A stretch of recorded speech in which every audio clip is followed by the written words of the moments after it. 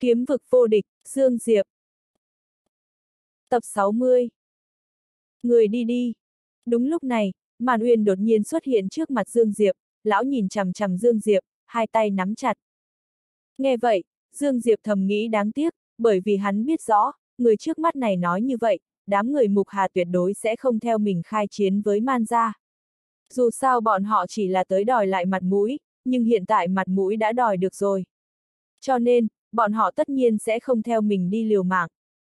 Quả nhiên, khi Man Uyên nói ra những lời này, đám người Mục Hà liền ngăn cản đám người của Bái Nguyệt Điện. Mục Hà nhìn thoáng qua Dương Diệp, nói. Đi thôi. Dương Diệp nhún vai, sau đó xoay người rời đi, đúng lúc này, Man Uyên đột nhiên lại nói. Nỗi nhục ngày hôm nay, ngày khác sẽ bắt người trả lại gấp 10 lần. Dương Diệp không để ý tới Man Uyên, nhanh chóng biến mất trong tầm mắt của mọi người. Chấm. Chuyện Dương Diệp đánh chết Man Hy rất nhanh lại được lan truyền, lần này, vô số người cảm thấy khiếp sợ. Man gia là thế gia vạn năm chứ không phải là loại thế lực nhỏ do những thanh niên tạo thành như thính tuyết lâu. Mà cho dù là vậy vẫn bị khiêu chiến. Vào lúc này, vô số người càng lúc càng tò mò với thân phận của Dương Diệp. Mà rất nhiều thế gia và thế lực thực lực không quá đặc biệt thì vội vàng tuyên bố một mệnh lệnh, đó chính là đừng có chọc vào tên thể tu Dương Man. Rất nhiều người xem như đã nhìn rõ, thể thu tên là Dương Man này chính là một tên điên không hơn không kém, ai chọc vào hắn đều gặp xui xẻo. Chấm. Mục Hà một mình dẫn Mục Thanh Phong tới một nơi. Dương Man này không thể ở lại bái nguyệt điện của ngươi được. Câu đầu tiên của Mục Hà khiến Mục Thanh Phong ngây ngẩn cả người. Một lúc sau, Mục Thanh Phong trầm giọng hỏi. Vì sao thế? Mục Hà nói. Tính cách của kẻ này quá cương trực, làm việc cũng quá xung động, quan trọng nhất là kệ khí trong tòng hắn thật sự quá nặng, người tiếp tục để hắn ở bái nguyệt điện, nhất định sẽ mang đến đại họa cho bái nguyệt điện.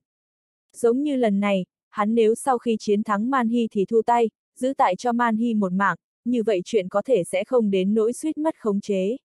Nhưng hắn không làm vậy, không chỉ không làm vậy, ngược lại còn muốn đi đổ sát man ra. Nói đến đây, hai mắt mục hà híp lại. Ta coi như đã nhìn rõ, kẻ này chính là có thù tất báo. Nhưng ở thánh địa, một người không biết tiến thoái tuyệt đối sẽ không sống được lâu. Cho nên, nhà đầu, bảo hắn rời khỏi bái nguyệt điện đi, như vậy sẽ tốt cho bái nguyệt điện, cũng tốt cho ngươi. Mục Thanh Phong trầm mặc, bởi vì nàng ta căn bản không thể phản bác. Lần này, nàng ta cũng thật sự cảm nhận được sự nguy hiểm của tên gia hỏa tên là Dương Man. Nếu lúc trước Man Uyên không lùi bước, hắn liệu có thật sự đổ sát Man ra không? Khẳng định là có. Thật khiến cho người ta đau đầu. Mục Thanh Phong lắc đầu, đột nhiên, giống như là nghĩ tới gì đó, nàng ta lại nói. Đúng rồi, ra ra ngươi không phải nói man thần giáp đó chính là cường giả bán thánh cũng không phá được sao? Vậy vì sao lúc đó hắn phá được? Theo quan sát của ta, hắn đâu biết dùng kiếm. Chân mày mục hà cao lại, một lúc sau mới nói. Nói thật, ta cũng không thể phát hiện, bởi vì khi hắn thật sự xuất lực, chúng ta đều cảm thấy hắn không thể phá được, cho nên không quan sát hắn cẩn thận. Ha ha, hiện tại nghĩ lại, lúc ban đầu hắn chính là giả vợ yếu đuối, cố ý khiến chúng ta và cả Man Hy buông lỏng cảnh giác. Man Hy đó đúng là ngu ngốc. Quả thật là ngu ngốc. Mục Thanh Phong gật đầu đồng ý.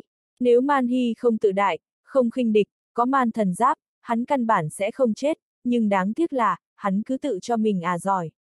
Có thể nói, Man Hy là chết trên tay của chính mình. Chuyện của Dương Man tự ngươi mau chóng giải quyết đi. Mục Hà nói xong câu này, thân hình khẽ động, biến mất tại chỗ. Giữ lại Dương Man hay là bảo hắn đi? Mục Thanh Phong không khỏi đau đầu. Chấm. Bái Nguyệt Điện. Trong một căn phòng, Dương Diệp đi đến cạnh giường, trên giường là Phù Cẩm Tiên, lúc này Phù Cẩm Tiên đã thay một bộ quần áo sạch sẽ, thương thế cũng tốt hơn nhiều, nhưng vết sẹo trên mặt vẫn còn, điều này khiến cho khuôn mặt vốn rất xinh đẹp của nàng ta biến thành có chút dữ tợn và khủng bố. Đa tạ hỏa tinh thạch ngàn năm của ngươi, chỉ là cho ta thì không khỏi có chút quá lãng phí. Phù Cẩm Tiên nhìn Dương Diệp, nói khẽ. Dương Diệp lắc đầu, nói. Vật ngoài thân thôi, đúng rồi, hỏa tinh thạch ngàn năm đó chắc có thể trị khỏi vết sẹo trên mặt ngươi mà. Ngươi vì sao? Xấu lắm à? Khóe miệng Phù Cẩm Tiên nở một nụ cười, nói. Ta nghĩ với bộ dạng hiện tại này của ta, chắc sẽ không có nam nhân nào có hứng thú với ta đâu nhỉ. Nghe vậy, Dương Diệp nhìn Phù Cẩm Tiên, thấp giọng thở dài, nói. Ngươi việc gì phải vậy? Phù Cẩm Tiên nói. Ngươi có biết không, Man Hy đó cũng một trong những kẻ lúc trước giết trượng phu và con ta, hôm nay khi gặp lại hắn, ta vốn tưởng rằng đây là trời cao cho ta cơ hội báo thù cho ta, nhưng không ngờ thực lực của ta lại yếu như vậy, yếu đến mức cho dù là cửu nhân đứng ở trước mặt cho ta giết, ta cũng không giết được, hơn nữa còn liên lụy tới người. Ta, ta thật sự rất hận, hận mình vô năng, hận mình. Khụ khụ. Nói tới cuối cùng, cảm xúc của Phù Cẩm Tiên trở nên kích động, khóe miệng lại trào máu. Dương Diệp lấy ra một tấm khăn lụa đưa cho Phù Cẩm Tiên, nói. Man Hy đã chết rồi, ta đã tự tay giết hắn. Nghe vậy, Phù Cẩm Tiên rõ ràng càng kích động hơn. Một lúc sau, Phù Cẩm Tiên mới bình tĩnh lại. Nàng ta nhận lấy khăn lụa trong tay Dương Diệp, lau đi máu tươi ở khóe miệng, sau đó nhìn về phía Dương Diệp, nói. Ngươi có biết không, thế nhân đều nói ngươi là kẻ điên, ngươi là một kẻ biến thái, ngươi là một tên cuồng ma sát nhân không hơn không kém. Nhưng kỳ thật ngươi là người tốt. Người tốt á? Dương Diệp lắc đầu cười cười, nói. Nói ta tốt e rằng chỉ có một mình ngươi thôi. Ngươi đừng quên, hỏa linh tộc của ngươi là bị ta tiêu diệt. Phù Cẩm Tiên nói. Ngươi đối với địch nhân thì rất tàn nhẫn, rất điên cuồng, có thể nói, chỉ cần là kẻ địch của ngươi, ngươi sẽ thể hiện ra một mặt đen tối nhất của ngươi. Hơn nữa còn phóng đại một cách không hạn chế, đây chính là nguyên nhân mà người khác nói người biến thái, là cuồng ma sát nhân. Nhưng, người đối với người mình lại rất tốt, khi đối mặt với người mình, trên người ngươi không có sát khí, không có lệ khí, có chăng chỉ là sự bình dị gần gũi, và... Nói đến đây, Phù Cẩm Tiên dừng một chút lại nói. Tê tê ới cổ thánh thành, ta phát hiện, ngươi chưa bao giờ chủ động đi trêu chọc người khác, hơn nữa rất nhiều lúc khi người khác trêu chọc ngươi, ngươi ngược lại còn có thể nhường nhịn. Nhưng một khi ngươi không nhịn được, ngươi mà xuất thủ thì chính là chém tận giết tuyệt, không lưu lại đường sống. Thế nhân luôn nói ngươi là người điên, ngươi là biến thái, ngươi là cuồng ma sát nhân, nhưng không ai chịu nghĩ xem, ngươi vì sao lại biến thành như vậy. Dương Diệp nhìn Phù Cẩm Tiên, không muốn tiếp tục đề tài này nữa, nói. Ngươi trở về gặp tộc trưởng hỏa linh tộc, lão nói gì không? Phù Cẩm Tiên cũng thức thời, không tiếp tục đề tài lúc trước, nói. Còn nói gì được nữa? Chỉ bảo ta đừng sinh sự ở cổ thánh thành, hiện tại bản thân hỏa linh tộc còn khó bảo toàn, chỉ có sống nhờ tại cổ thánh thành này. Cho nên bọn họ không hy vọng ta sẽ mang tới phiền toái cho họ. Ha ha, vì thế bọn họ không ngờ còn muốn nhốt ta lại. Dương Diệp lắc đầu, nói. Ngươi đừng trở về hỏa linh tộc nữa, sau khi cứ ở bái nguyệt điện đi. Nói xong, Dương Diệp do dự một thoáng, lấy ra một viên hỏa tinh thạch ngàn năm đặt ở cạnh giường của Phù Cẩm Tiên, nói. Lúc trước, nếu không phải ngươi truyền âm báo cho ta biết, ta có thể đã không ra khỏi được hỏa linh tộc. Ngươi muốn dựa vào thực lực để báo thù, ta sẽ không khuyên ngươi, ta cũng chỉ có thể giúp ngươi đừng từng này thôi. Ngươi vẫn chưa đủ độc ác. Phù Cẩm Tiên nhìn Dương Diệp, nói. Nếu ta là ngươi, ta sẽ giết ta, bởi vì chỉ cần ta chết rồi, ngươi ở cổ thánh thành này tuyệt đối sẽ an toàn. Mà nếu ta không chết, vạn nhất tiết lộ thân phận thật sự của ngươi, vậy ngươi chắc chắn sẽ phải chết. Dương Diệp cười khẽ, nói. Vẫn là câu đó, người không phạm ta, ta không phạm người. Ta làm bất cứ chuyện gì cũng có điểm mấu chốt của bản thân mình, chuyện vượt qua điểm giới hạn, ta quyết sẽ không làm. Ta không có ý do giết người, nếu là bởi vì giống như người nói, ta không qua được cánh cửa tâm ý, càng khiến cho kiếm đạo của ta không yên. Và lại, cho dù người thiết độ hành tung của ta, ta cũng không nhất định chắc chắn sẽ phải chết. Nói xong, Dương Diệp xoay người rời đi. Cầm hỏa tinh thạch ngàn năm trong tay, Phù Cẩm Tiên nhìn phương hướng Dương Diệp rời đi một hồi lâu mới thu hồi ánh mắt. Khi thu hồi ánh mắt, trong mắt Phù Cẩm Tiên lập tức biến đổi, trở thành dữ tợn, sát ý, kệ khí. Bất chấp tất cả mọi giá để trở nên mạnh mẽ. Một tiếng lầm bầm vang lên trong phòng. Sau khi rời khỏi phòng của Phù Cẩm Tiên, Dương Diệp về lại phòng mình. Sau khi vào phòng, chuyện thứ nhất Dương Diệp làm chính là lấy thi thể Man Hy ra. Dương Diệp đương nhiên không có chút hứng thú nào với thi thể, cái mà hắn có hứng thú là man thần giáp trên người Man Hy. Uy lực của man thần giáp này hắn đã tự mình lĩnh giáo, lúc trước hắn sở dĩ có thể phá vỡ vị trí ở hai mắt của man thần giáp này, một là do man hy khinh địch và lơ là, hai là là trong nháy mắt đó đã dùng tới kiếm ý thập nhất trọng, chí mệnh nhất kích tam trọng, cộng với cả nhân kiếm. Có thể nói, lúc ấy hắn đã thật sự dùng tới toàn bộ thực lực. Mà ngay cả như vậy, hắn vẫn cảm nhận được một tia trở ngại, nói cách khác, dưới một kích toàn lực đó của hắn, hắn vẫn thiếu chút nữa không thể phá vỡ phòng ngự của đối phương. Chỉ có thể nói, lúc ấy nếu Man Hy cảnh giác một chút, sau đó né tránh, vậy thì hắn đã không thành công. Tóm lại, nếu hắn mặc man thần giáp này vào, như vậy cộng với nhục thân của hắn, còn cả Long Lân, hắn dám dựa vào lực lượng nhục thân để đơn đầu với cường giả bán thánh. Càng đứng nói tới hắn còn có ma năng thuẫn và băng thuẫn. Tóm lại, sau này chính là võ trang hạng nặng. Nghĩ vậy, khóe miệng Dương Diệp không khỏi nở một nụ cười. Có điều lúc này hắn gặp chút khó khăn, bởi vì man thần giáp này đã bọc chặt lấy man hy, một chút khe hở cũng không có, hơn nữa quan trọng nhất là lớp màng mỏng bị hắn phá vỡ lúc trước, không biết từ lúc nào đã khôi phục. Nói cách khác, hắn căn bản không cởi ra được. Trầm mặc hồi lâu, rất nhanh, Dương Diệp nghĩ tới một biện pháp. Thân hình hắn khẽ động, mang theo man thần giáp tới lầu luyện đan. Ngươi châu như vậy thì ta sẽ nướng ngươi, xem là ngươi châu hay là lục đinh thần hỏa châu hơn. Rất nhanh, Dương Diệp đi tới trước lò luyện đan. Nhìn lục đinh thần hóa trong lò luyện đan, Dương Diệp có chút do dự, bởi vì nếu làm không tốt, lò lửa này đốt man thần giáp thành cho mất thì sao? Nhưng lúc này hắn cũng không có biện pháp khác, man thần giáp này vô cùng cứng rắn, cho dù là hắn dùng hết toàn lực, cũng chỉ có thể đâm ra một lỗ nhỏ ở chỗ yếu nhất. Nhưng muốn cởi ra thì căn bản là không được. Dương Diệp tất nhiên sẽ không ngốc đến mức trực tiếp ném man thần giáp vào trong lò. Hắn cầm man thần giáp chậm rãi tới gần lục đinh thần hóa, lúc ban đầu thì không có gì khác thường, nhưng rất nhanh, hắn cảm giác được man thần giáp đang từ từ nhúc nhích. Điều này khiến cho Dương Diệp mừng lắm, lại dí tới gần lục đinh thần hóa hơn một chút. Theo Dương Diệp càng lúc càng tới gần lò luyện đan, tốc độ nhúc nhích của man thần giáp trong tay hắn cũng nhanh hơn, không chỉ nhúc nhích mà còn run rẩy kịch liệt, giống như gặp phải chuyện gì đó rất đáng sợ. Rất nhanh, Dương Diệp cảm giác được thi thể của Man Hy trong man thần giáp đã biến mất. Audio điện tử võ tấn bền. Đó là trực tiếp bị đốt cho bốc hơi rồi. Dương Diệp ngừng lại, nhìn man thần giáp trong tay, trầm giọng nói. Ta biết người có thể nghe hiểu lời nói của ta, ta cho ngươi cơ hội cuối cùng, nếu ngươi không thần phục ta, ta sẽ trực tiếp ném ngươi vào lò lửa, khiến ngươi triệt để biến thành cho bụi. Dương Diệp hiểu rất rõ, loại bảo vật thuộc về tiên cấp này cho dù không sinh ra được trí tuệ thật sự, nhưng khẳng định cũng có linh trí nhất định. Hắn không phải người của man gia, hắn không có cách nào sử dụng man thần giáp này một cách bình thường. Cho nên, hắn chỉ có thể dùng loại phương thức uy hiếp này. Man thần giáp không đáp lại. Ánh mắt Dương Diệp lạnh như băng, nói. Ta đếm ba tiếng, ngươi nếu vẫn không thần phục, ta sẽ lập tức cho ngươi được tắm trong lửa. Một, Man thần giáp vẫn không có phản ứng. Ba, Theo thanh âm của Dương Diệp vừa dứt, Dương Diệp không chút do dự, bấm tay búng một cái, man thần giáp trực tiếp bị hắn ném vào trong lò lửa.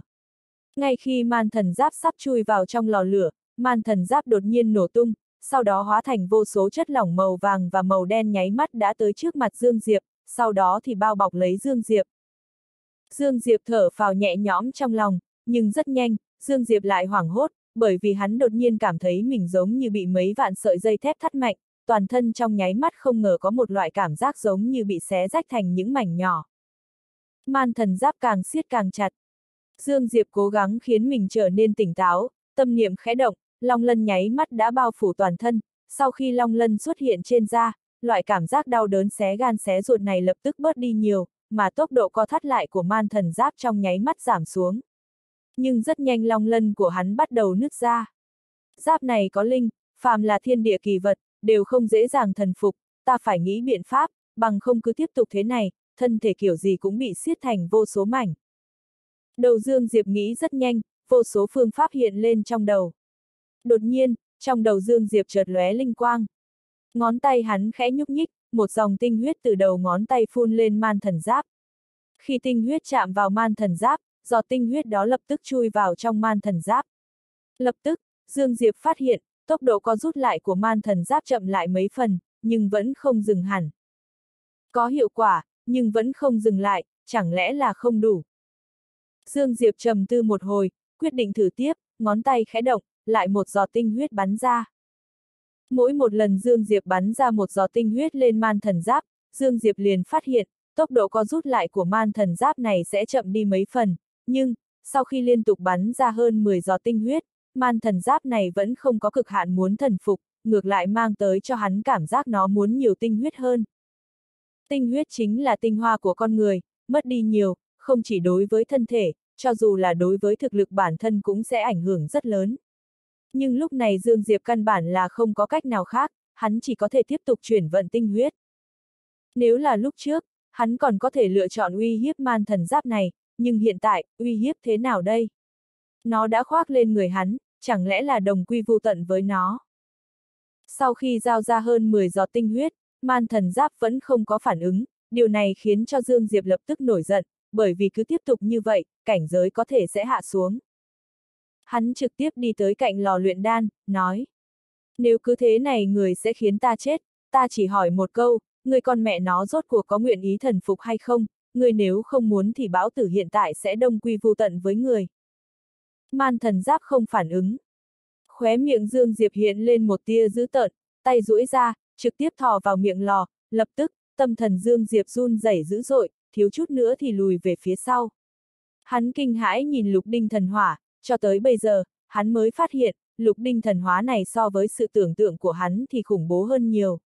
Tuy lục đinh thần hỏa khiến cho tâm thần của hắn run rẩy dữ dội, nhưng hắn không chỉ không lùi bước, ngược lại còn tiến vào gần thêm mấy phần. Người mẹ nó rốt cuộc có đầu hàng hay không? Dương Diệp gầm lên, bộ dạng như muốn bất chấp tất cả. Đúng lúc này, man thần giáp đột nhiên mất máy, rất nhanh, man thần giáp biến mất trên người Dương Diệp. Cùng lúc đó, Dương Diệp lập tức cảm thấy giữa mình và man thần giáp có một tia liên hệ. Tâm niệm hắn khẽ động, còn không đến một phần mười cái hô hấp, man thần giáp nháy mắt đã bao bọc lấy bao vây, kín không kẽ hở. Dương Diệp lúc mới chính thức thở phào nhẹ nhõm. Vốn hắn muốn lấy ngựa chết làm ngựa sống, nhưng không ngờ hắn đánh bừa lại đánh chúng, không ngờ thật sự thu phục được man thần giáp này. Đương nhiên, nguy hiểm trong đây cũng rất lớn.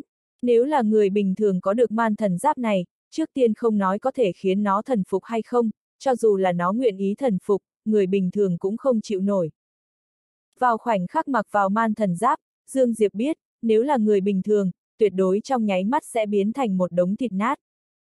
Sau khi thu phục được man thần giáp, Dương Diệp bắt đầu nghiên cứu tác dụng của man thần giáp này. Đối với chuyện lực lượng của man hy trong nháy mắt trở nên cường đại lúc trước. Hắn vẫn nhớ như in, trong nháy mắt đó, lực lượng của đối phương đã thật sự vượt xa hắn. Nghiên cứu hồi lâu, Dương Diệp cuối cùng đã hiểu. Dưới sự câu thông của hắn và man thần giáp, hắn phát hiện, chỉ khi hắn cần, một cỗ lực lượng cực kỳ thần bí sẽ từ trên man thần giáp ùa vào trong tay phải của hắn. Cảm nhận được cỗ lực lượng rồi rào trên tay, Dương Diệp đột nhiên đánh ra một quyền. ầm, um, quyền đánh ra, không gian trong nháy mắt sụp xuống, đồng thời lực lượng cường đại còn khiến cho không gian chung quanh trực tiếp nứt ra. Nhưng rất nhanh, không đến nửa hơi thở, không gian trong nháy mắt được sửa chữa tu bổ. Mạnh thật! Nhìn quyền đầu của mình, trong mắt Dương Diệp hiện lên vẻ hưng phấn. Trong nháy mắt trước đó, hắn cảm giác được rõ ràng lực lượng của mình trong nháy mắt đã tăng cường không chỉ gấp 10 lần. Một quyền này cho dù là bán thánh, dưới tình huống bất ngờ không kịp đề phòng mà bị đánh, hắn có lòng tin sẽ đánh bay được đối phương. Quan trọng nhất là phòng ngự, nhục thân của bản thân hắn đã cực kỳ khủng bố, lại có long lân, hiện tại có thêm man thần giáp, còn có ma năng thuẫn và bằng thuẫn. Hắn hiện tại dám không cần dùng kiếm mà đơn đấu với bán thánh. Đương nhiên chỉ là bán thánh bình thường mà thôi, bán thánh giống như tộc trưởng của hỏa linh tộc hắn cho dù dùng kiếm cũng khẳng định không đánh lại. Bởi vì lúc trước thu phục man thần giúp tiêu hao quá nhiều tinh huyết, bởi vậy, Dương Diệp tu luyện chừng một ngày ở trong hồng mông tháp mới đi ra. Lần này thu hoạch ở thánh địa cực lớn, không chỉ thu hoạch được mấy kiện bảo bối, còn khiến bản thân tấn thẳng đến hoàng giả cảnh tam phẩm. Lúc trước khi chữa trị thương thế, hắn nuốt một viên hỏa tinh thạch ngàn năm, dưới tác dụng của hỏa tinh thạch ngàn năm, hắn bất chỉ bất giác giã trực tiếp thăng cấp. Đây xem như là kinh hỉ bất ngờ. Hiện tại việc cấp bách là kiếm được đại lượng tích phân, nếu có thể tốt nhất là đổi lấy một quyển huyền kỹ tiên cấp. Man thần giáp này là tiên cấp, Dương Diệp đã kiến thức được sự cường đại của nó. Cùng là huyền kỹ tiên cấp khẳng định sẽ không kém, mà phương diện huyền kỹ cũng là chỗ mà hắn yếu nhất, bởi vì hắn cũng chỉ biết một hai môn kiếm kỹ. Đương nhiên, quan trọng nhất là kiếm đủ tích phân thì mới có thể tới chấn ngục tháp cứu bản thể của kiếm linh. Thời gian trôi quá rất nhanh, đã tới thời gian ước định với Minh Nữ. Minh Nữ đi tới Bái Nguyệt Điện, một đường thông suốt, người của Bái Nguyệt Điện không phải không thấy, là nhìn thấy cũng không dám đến gần, đừng nói là Bái Nguyệt Điện, ở cổ thánh thành này, trừ một hai nơi ít ỏi ra, không có chỗ nào là Minh Nữ không dám tới. Cũng trừ số ít một hai người ra, không ai dám cản nàng ta cả. Từng có một gia tộc không nể mặt nàng ta, gia tộc đó không bị giết, chỉ gia chủ bị giết mà thôi, hơn nữa chỉ cần là gia tộc đó có gia chủ mới thì hôm sau sẽ chết ngay. Cho dù vị gia chủ đó là bán thánh, gia tộc đó tất nhiên sẽ không từ bỏ ý đồ, muốn trả thù, nhưng người chết càng nhiều hơn. Cuối cùng không biết phải làm sao, gia tộc đó tìm tới thánh đường, nhưng thánh đường lại nói, chuyện của minh nữ thánh đường không có quyền nhúng tay vào. Từ đó về sau, không có bất kỳ một gia tộc và thế lực nào dám không nể mặt minh nữ. Cho dù là thế gia siêu cấp lưu truyền ở cổ thánh thành này từ 10 vạn năm trước, bọn họ khi nhìn thấy minh nữ cũng phải cung kính. Minh nữ vừa thần bí lại vừa cường đại. Hoàng giả cảnh tam phẩm, thực lực của ngươi lại đề thăng. Trong phòng của Dương Diệp, minh nữ trước mặt hắn. Dương Diệp gật đầu, nói. So với ngươi thì vẫn kém xa. Đừng khiêm tốn, ngươi cũng không tồi đâu. Minh nữ nói. Dương Diệp cười cười, sau đó nói. Kỳ thật ta rất hiếu kỳ, với thực lực của ngươi, rốt cuộc là nhiệm vụ gì mà khiến ngươi cảm thấy có chút khó khăn thế? Ở sâu trong đáy biển U Minh, xuất hiện 9 tòa thạch quan, sau khi chín tòa thạch quan xuất hiện rất nhiều thiên tài của thánh địa tới đáy biển U Minh tu luyện, toàn bộ đều tử vong một cách ly kỳ. Nhiệm vụ của chúng ta chính là tới điều tra nguyên nhân, hoặc là mang chín tòa thạch quan đó về. Minh nữ nói, thánh địa có nhiều cường giả như vậy, vì sao không ra tay? Dương Diệp bỗng nhiên nói. U Minh Hải chính là địa bàn của hải tặc, năm đó quan hệ giữa hải tộc và nhân tộc không tốt cho lắm. Bởi vậy Hải Thánh lúc đó đã bày ra một trận pháp ở hải tộc, nhân tộc từ bán thánh trở lên tới hải tộc sẽ bị áp chế, thực lực nhiều nhất chỉ có thể phát huy được một nửa. Hơn nữa Hải Thánh lúc trước còn để lại một dòng hồn phách, nếu bán thánh của nhân tộc dám bước vào hải tộc, dòng hồn phách này sẽ hiện thân đánh lui hoặc là chảm sát. Minh nữ nói. Dương Diệp gật đầu, lại nói. Vậy chín tòa thạch quan đó đã mang tới cho ngươi cảm giác nguy hiểm à? Minh nữ nói. Bên cạnh chín thạch quan đó còn có chín khôi lỗi người đá, ta cần có người hỗ trợ kiềm chế chín khôi lỗi người đá này. Chúng có thực lực gì? Dương Diệp có một loại cảm giác không ổn. Dương Diệp có một loại cảm giác không ổn. Bán thánh. Khóe miệng Dương Diệp giật giật, nói. Người bảo ta một mình giúp người kiềm chế chín vị bán thánh. Đại tỷ, người quá coi trọng ta rồi đó. Chín vị bán thánh là khái niệm gì?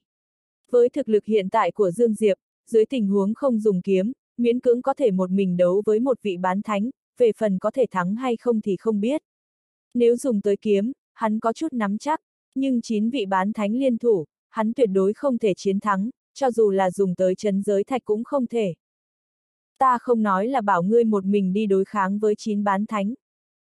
Minh nữ nói. Ngươi còn kêu gọi cả người khác. Tất nhiên. Minh nữ, nói. Tuy thực lực của người lúc này không tồi, nhưng cũng không thể dùng sức của một người đối kháng với bảy bán thánh. Nghe vậy, Dương Diệp thở phào, thế cũng là bình thường thôi, lại hỏi. Người gọi mấy người giúp. Hai. Dương Diệp. Đi thôi, bọn họ tới rồi. Minh nữ nói xong câu đó thì thân hình khẽ động, hóa thành một luồng ánh sáng trắng tiêu tán tại chỗ. Có đi hay không? Dương Diệp không do dự lâu liền quyết định, đương nhiên phải đi rồi. Đầu của minh nữ này không phải bị hỏng, tất nhiên không thể đi làm loại chuyện tìm chết, đối phương nếu dám gì, hơn nữa chỉ gọi ba người giúp đỡ, vậy nhất định là có nắm chắc. Và lại lần này nếu thành công, vậy thì ít nhất cũng có 10 vạn điểm tích phân. Sau khi đi tới cửa bái nguyệt điện, Dương Diệp gặp hai bang thủ còn lại của minh nữ, một nam một nữ. Nam mặc trường bào màu xanh nhạt, diện mạo anh Tuấn, trên mặt luôn nở nụ cười lạnh lùng, nhưng trên người lại lộ ra một cỗ khí tức khiến người ta rất thoải mái, khiến cho người ta không nhịn được muốn tiếp cận với hắn. Nữ thì mặc váy dài màu xanh, dáng người thon thả, dung mạo không thể nói là rất đẹp, chỉ có thể nói là không xấu. Hai người nhìn thì có chút bình thường, nhưng Dương Diệp biết rõ, hai người này không đơn giản. Người có thể khiến minh nữ phải mời tới thì có thể đơn giản sao? Minh nữ chỉ vào nam tử và nữ tử, nói. Vương Diễm, Thanh Minh. Hai người khẽ gật đầu với Dương Diệp, Dương Diệp cũng gật đầu, nói. Dương Man. Cứ như vậy, ba người trực tiếp xuất phát. Minh nữ không giải thích lai lịch của Vương Diễm và Thanh Minh, cũng không giải thích lai lịch của Dương Diệp với hai người họ, có điều bất kể là Dương Diệp hay là Vương Diễm và Thanh Minh, không ai hỏi về vấn đề này cả. Man ra. Man trưởng lão, Dương Man đó đã ra khỏi thành. Một người áo đen đứng trước mặt Man Uyên, cung kính nói. Nghe vậy, Man Uyên vốn đang ngồi đột nhiên mở mắt, định đứng lên thì lúc này người áo đen đó lại nói. Có điều hắn đi theo Minh Nữ Điện Hạ và một nam một nữ. Minh Nữ. Man Uyên nheo mắt, do dự một thoáng, lão ngồi lại. Lúc trước Minh Nữ đã giết cho Hà Gia, một thế gia vạn năm phải nguyên khí đại thương. Tuy man gia so với Hà gia đó thì mạnh hơn một chút, nhưng tuyệt đối cũng không chịu nổi sự dày vò của Minh Nữ này. Hơn nữa thân phận của Minh Nữ cực kỳ thần bí, ngay cả thánh đường cũng có chút kiêng kỵ, càng đừng nói tới một man gia nho nhỏ của lão. Bất kể là thế nào, thù của man hy phải báo, man thần giáp phải lấy lại. ngươi lui xuống đi, lần này ta sẽ tự mình giải quyết. Man Uyên nói xong, cả người đã biến mất trong phòng. Chấm. Sau khi bay nửa canh giờ, Dương Diệp có chút đau đầu. Tốc độ của Minh Nữ quá nhanh, nhanh tới trình độ nào à? Nhanh đến mức như vận tốc âm thanh, mà chỗ yếu nhất của Dương Diệp chính là tốc độ, có điều cũng may, hắn dốc toàn lực vẫn miễn cưỡng theo được Minh Nữ. Có điều Dương Diệp biết rõ, kỳ thật Minh Nữ hẳn là bay chậm lại, bằng không hắn cho dù là dùng thiên nhai chỉ xích chỉ sợ cũng không theo kịp. Dương Diệp cũng phát hiện sự sau đó của Vương Diễm và Thanh Minh đó, bởi vì tuy tốc độ của hai người không nhanh bằng Minh Nữ, nhưng lại vẫn theo sát sau Minh Nữ, hơn nữa nhìn bộ dạng của bộ dạng hình như cũng không xuất toàn lực. Nói chung lúc này Dương Diệp là tụt lại sau cùng. Sau khi trải qua một ngày một đêm phi hành, bốn người tới một tòa cổ thành. Minh Nữ chỉ chỉ tòa cổ thành đó, nói. Thành này tên là vô danh, bên trong rồng rắn hỗn tạp, tam giáo cửu lưu đều có. Trong thành cường giả vi tôn, không có bất kỳ trật tự gì. Nói đến đây, nàng ta xoay người nhìn về phía Dương Diệp, nói. Nếu gây chuyện ở đây sẽ khá là phiền toái, cho nên, sau khi vào thành ngươi đừng có đi loạn khắp nơi, phải theo ta, hiểu chưa? Dương Diệp mặt sầm xuống. Ta hay gây chuyện lắm à? Ta lo người khác sẽ chọc giận ngươi. Minh Nữ nói. Dương Diệp. Nghe thấy lời nói của Minh Nữ, Vương Diễm và Thanh Minh kinh ngạc nhìn Dương Diệp. Ngụ ý của Minh Nữ bọn họ tất nhiên nghe, đây cũng là chỗ khiến bọn họ kinh ngạc. Bởi vì nghe ý tứ của Minh Nữ chính là người trước mắt này rất nguy hiểm. Nhưng, người này lại khiến họ cảm thấy có chút bình thường. Minh Nữ không trực tiếp dẫn bọn họ bay vào vô danh thành, mà là dẫn ba người Dương Diệp vào từ cửa thành. Cửa thành không có người gác, nhưng khoảnh khắc bốn người vừa tiến vào thành, một trung niên mập mạp để mình trần chắn trước mặt bốn người. Tê tê hiền vào thành, tiền vào thành, tiền không đủ thì lấy mạng ra trả. Trung niên mập mạp vươn bàn tay phải béo núng nính của hắn ra, cười một cách tham lam.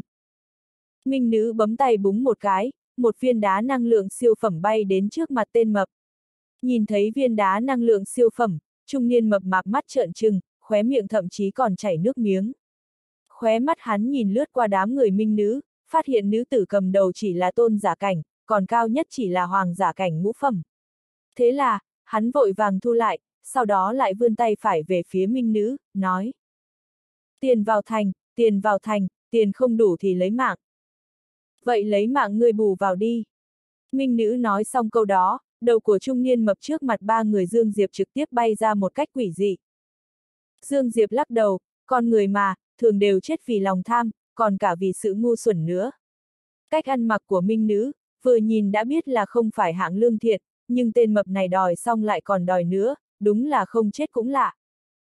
Ai con mẹ nó dám giết người ở địa bàn của lão tử, chán sống rồi hả?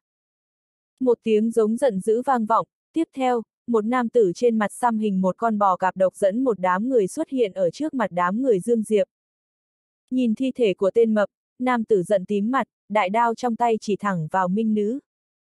Tiểu tiện nhân từ đâu đến, không biết quy củ ở địa bàn của Biêu gia ta sao? Ngươi có tin lão tử hôm nay cho người luân phiên hiếp ngươi không? Xong rồi. Lần này, không chỉ Dương Diệp lắc đầu, cho dù là Vương Diễm và Thanh Minh cũng lắc đầu. Cho dù thằng ôn trước mắt này có 100 cái mạng cũng khí mà sống nổi. Nói năng lỗ mãng, đáng chết. Theo thanh âm của minh nữ vừa dứt, ngọc thủ của minh nữ khẽ nâng lên, đúng lúc này, một thanh âm gấp gáp vang lên. Điện hạ, thủ hạ lưu tình. Nhưng tay của minh nữ lại không dừng, chỉ nhẹ nhàng vung lên, một luồng ánh sáng trắng lóe lên, sau đó đầu của nam tử xưng là biêu ra liền bay ra. Tốc độ của minh nữ rất nhanh, nhanh đến mức ở đây chỉ có ba người Dương Diệp là có thể thấy rõ, bởi vậy, khi đầu của Bill ra bay ra, những người bên cạnh hắn hoàn toàn ngây đơ. Mà lúc này, một nam tử trung niên trông có chút sông giống Bill ra xuất hiện. Khi hắn nhìn thấy thi thể của Bill ra, hai tay lập tức siết chặt, trên mặt lại xuất hiện một tia lệ khí. Mà minh nữ thì lại không quan tâm tới hắn, trực tiếp dẫn Dương Diệp Dương Diệp đi vào trong thành. Điện hạ cứ như vậy mà đi à? Nam tử trung niên trầm giọng nói. Minh nữ dừng bước, nói. Ngươi thật sự muốn giữ ta lại à? Mặt nam tử trung niên run rẩy kịch liệt, một lúc sau, hắn hít sâu một hơi, nói. Điện hạ xin cứ tự nhiên. Nhìn đám người minh nữ rời đi, sắc mặt của nam tử trung niên âm trầm đáng sợ, nhưng lại không dám nói những lời giữ minh nữ lại.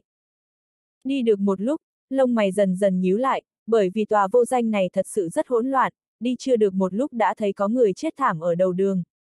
Trong lúc này cũng có người có chủ ý với bốn người bọn họ, có điều lại không ai dám xông lên, chỉ ở bên cạnh nhìn chằm chằm bọn họ. Đối với những người hàng ngày liếm máu trên mũi đao để sống này, một người có nguy hiểm hay không, bọn họ có bản năng nhận diện được. Điện hạ tới đây để. Lúc này, nam tử mặc áo trắng đột nhiên hỏi. Dương Diệp và Thanh Minh cũng nhìn về phía Minh Nữ, đối với việc Minh Nữ vì sao đến đây, bọn họ cũng rất hiếu kỳ.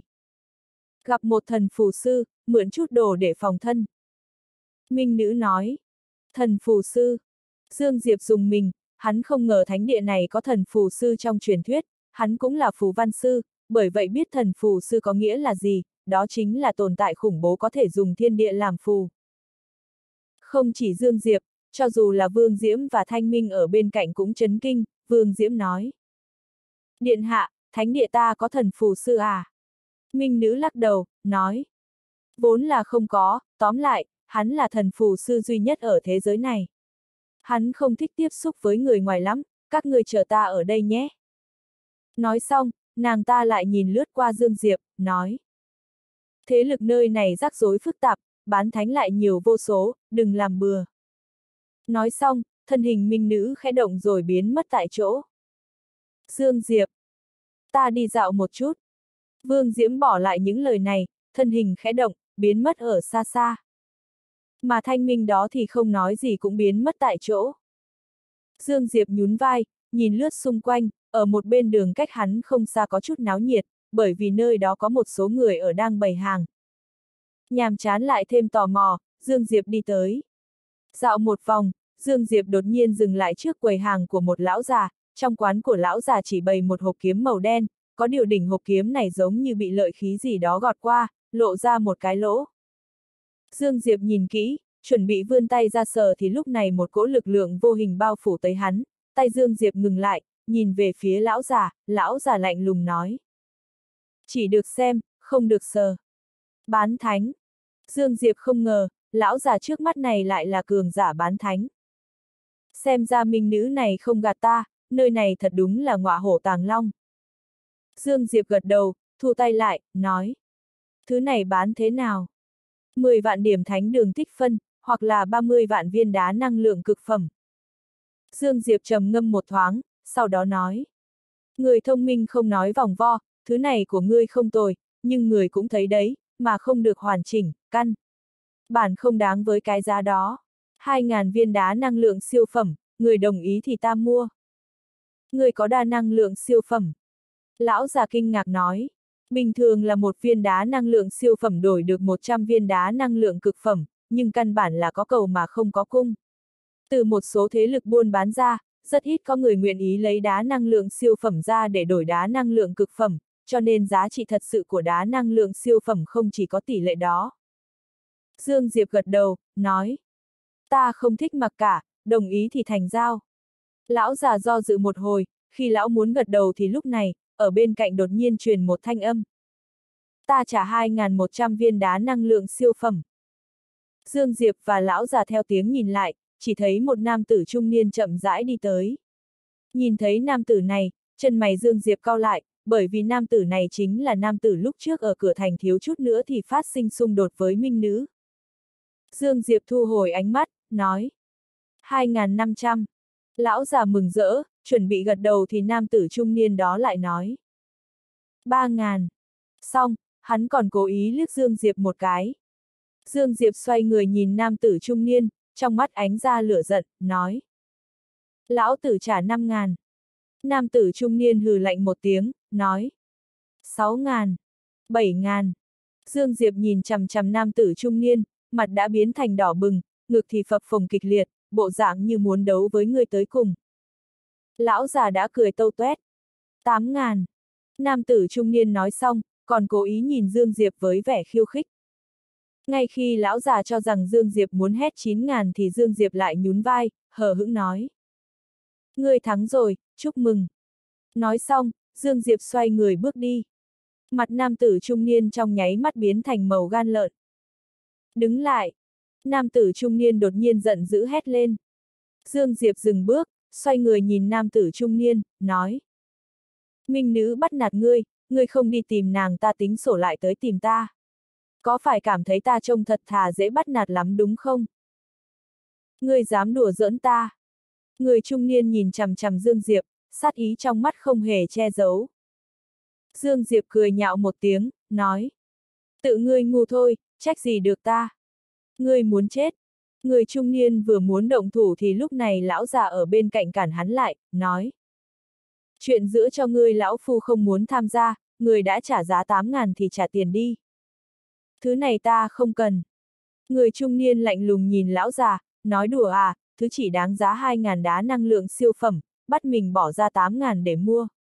Tưởng mình là hạng coi tiền như rác à ngươi có phải chúng cảm thấy lão phu dễ nạt lắm phải không? Sắc mặt lão già trầm xuống. Người trung niên mắt lộ ra vẻ khinh thường, nói. Lão già, đừng tưởng rằng ngươi là bán thánh thì ta đi sợ nhé, lão tử là người của vô cực minh, người con mẹ nó dám động tới ta à? Vô cực minh. Nghe thấy ba chữ này, mọi người đang vây xem ở bên cạnh lập tức hít một hơi lạnh, rất nhiều người rất nhiều người trực tiếp xoay người bỏ đi. Toàn bộ vô danh thành, có bốn thế lực lớn, mạnh nhất là phủ thành chủ của vô danh, còn lại phân biệt là vô cực minh, thích khách minh, thần phù hội. Bốn thế lực lớn này phân chia toàn bộ vô danh thành, phân biệt chiếm bốn khu vực Đông Tây Nam Bắc. Đương nhiên, đây chỉ là thế lực ngoài sáng của thành, ở thành còn có rất nhiều thế lực trong tối. Có điều phần lớn đều khá là nhún mình. Đối với tán tu hoặc là người không có bối cảnh mà nói, bốn thế lực lớn này là vạn lần không thể chọc vào, không chỉ bởi vì người ta đông người, còn bởi vì thực lực của người ta cũng mạnh. Một bán thánh ở trước mặt bất kỳ một mặt thế lực nào trong bốn thế lực lớn này đều là hoàn toàn không đáng để vào mắt. Quả nhiên sau khi nghe thấy người trung niên báo ra thân phận, sắc mặt lão già có chút khó coi. Một lúc sau, lão đột nhiên nhìn về phía Dương Diệp, nói. Nếu hắn đã không cần thì chính là của ngươi, giảm giá cho ngươi, tính ngươi 6.000 viên đá năng lượng siêu phẩm thôi. Khóe miệng nam tử trung niên lập tức lộ ra nụ cười đắc ý, sau đó thì nhìn về phía Dương Diệp với vẻ vui sướng khi người khác gặp họa. Dương Diệp đang chuẩn bị xem kịch ngẩn người, hắn không ngờ lão già này lại làm vậy, đây là bỏ quả hồng cứng chọn quả hồng mềm mà. Người có phải cũng thấy ta dễ bắt nạt không? Dương Diệp nhìn lão già nói. Lão già liếc Dương Diệp một cái, lạnh lùng nói. Hắn không cần thì tất nhiên chính là của ngươi, lúc trước chính ngươi ra giá 7 ngàn, ta không ép ngươi. Còn nữa người trẻ tuổi, không phải lão phu không nhắc nhở ngươi, ngươi nếu không cần vậy thì chính là trêu chọc lão phu rồi, trêu chọc lão phu thì sẽ phải trả một cái giá cực lớn đó. Dương Diệp gật đầu, nói. Người đây là muốn dở trò lưu manh với ta phải không? Trong cơ thể lão già đột nhiên bộc phát ra một cỗ khí thế bao phủ lấy Dương Diệp, sau đó âm trầm nói. Người trẻ tuổi, cho người cơ hội cuối cùng, bằng không tự gánh giấy hậu quả. Dương Diệp nhìn rõ rồi, người ta là trắng trợn muốn bắt nạt hắn. Cho nên hắn không nhiều lời, man thần giáp trong nháy mắt xuất hiện trên người, sau đó đột nhiên đánh ra một quyền. Lão già biến sắc, lão không ngờ tên gia hỏa chỉ là hoàng giả cảnh ở trước mắt này cũng dám ra tay với lão, lão càng không ngờ tốc độ ra quyền của đối phương không ngờ là lại nhanh như vậy, thế cho nên lão chỉ có thể ra quyền đón đỡ. Khoảnh khắc quyền đầu của lão già và quyền đầu của Dương Diệp tiếp xúc, sắc mặt, trong nháy mắt biến đổi, muốn thu quyền, nhưng đã không còn kịp rồi. Bùm! Trong ánh mắt kinh ngạc của mọi người, lão già trực tiếp bay vút ra sau, hơn nữa mọi người còn loáng thoáng nghe thấy một tiếng rắc nho nhỏ. Một hoàng giả cảnh, một quyền đánh bay một cường giả bán thánh. Mọi người ngây ra như phóng, nhìn Dương Diệp đứng trong sân với vẻ bất khả tư nghị. Ngay cả người trung niên lúc này cũng ngây ngốc, hắn không ngờ, tên gia hỏa chỉ là hoàng giả cảnh tam phẩm này có thể một quyền đánh bay một bán thánh. Giả heo ăn thịt hổ. Bất kể là gì, trong lòng người trung niên đã có ý rút lui. Lúc trước sở dĩ tìm đến Dương Diệp gây phiền toái, nguyên nhân chủ yếu là vì minh nữ, đệ đệ của hắn bị minh nữ giết chết, hắn tất nhiên trong lòng có oán khí, nhưng hắn biết rõ thân phận và thực lực của minh nữ, đừng nói hắn, cho dù là chủ tử sau lưng hắn cũng không nhất định dám tìm minh nữ gây chuyện, bởi vậy hắn chỉ có thể nhịn. Nhưng khi nhìn thấy Dương Diệp hắn không nhịn được nữa. Vì sao? Bởi vì Dương Diệp chỉ có thực lực hoàng giả cảnh, hơn nữa minh nữ lại không ở bên cạnh. Nhưng hiện tại, hắn biết mình sai rồi. Người có thể đi cùng với cùng với minh nữ, sao có thể là kẻ yếu? Chỉ là, một quyền đánh bay bán thánh, không khỏi cũng quá điên cuồng rồi. Dương Diệp vươn tay ra vẫy một cái, hộp kiếm không hoàn chỉnh trên mặt đất bay đến tay hắn. Nhìn hộp kiếm trong tay, Dương Diệp lắc đầu, nói. Vốn ta trả ngươi tiền, nhưng ngươi lại không muốn, cứ thích tặng không cho ta, ta có thể nói, ngươi đúng là một người tốt. Ngươi! Lúc này, lão già bán thánh ở cách đó không xa thiếu chút nữa thì tức giận tới phun máu, lão nhìn Dương Diệp với vẻ căm tức, tay phải đang run nhẹ nhẹ, nhưng lại không dám xuất thủ, lão không ngốc, người trước mắt này có thể một quyền đánh bay lão, không chỉ lai lịch của bản thân hay là hậu trường khẳng định đều cực kỳ khủng bố. Làm không khéo thì dễ gây ra tai họa. Dương Diệp lạnh lùng nhìn lão già, nói, sao, ngỏi còn muốn tặng ta đồ gì nữa à? Lão già nhìn chằm chằm Dương Diệp, không nói gì, xoay người bước đi, lần này, lão coi như gặp xui. Tuy lúc trước lão bị một kích đánh bay, cũng hơi bị thương, nhưng lão biết rõ, đó là bởi vì do lão lơ là, lão nếu xuất thủ thì có lòng tin hạ được đối phương. Nhưng lão không làm vậy, bởi vì lão không muốn đánh trẻ thì già ra mặt. Dương Diệp cũng không đuổi theo lão già đó, tuy hắn ỉ vào man thần giáp hơn nữa xuất kỳ bất ý đánh bay được đối phương, nhưng hắn không cho rằng mình có thể giết chết được một bán thánh, đuổi theo đối phương hoàn toàn chính là lãng phí thời gian. Sau khi thu lại man thần giáp và hộp kiếm, Dương Diệp xoay người bước đi. Hắn cũng không gây chuyện với người trung niên bên cạnh, bởi vì hắn nghĩ một lúc, thấy bớt đi một chuyện thì tốt hơn. Người trung niên ngây ra, thằng ôn trước mắt này không tìm mình gây phiền toái. Cứ vậy bỏ đi à? Đúng lúc này, từ xa có một đám người đi tới. Vô cực minh làm việc, người không liên quan cút sang bên, trong vòng 10 hơi thở, còn để lão tử nhìn thấy một khuôn mặt xa lạ nào thì đừng phách đao ta vô tình. Một nam tử sách đại đao cầm đầu gầm lên, người chung quanh vốn đang xem kịch lập tức biến mất vô tung vô ảnh. Trần phách đao.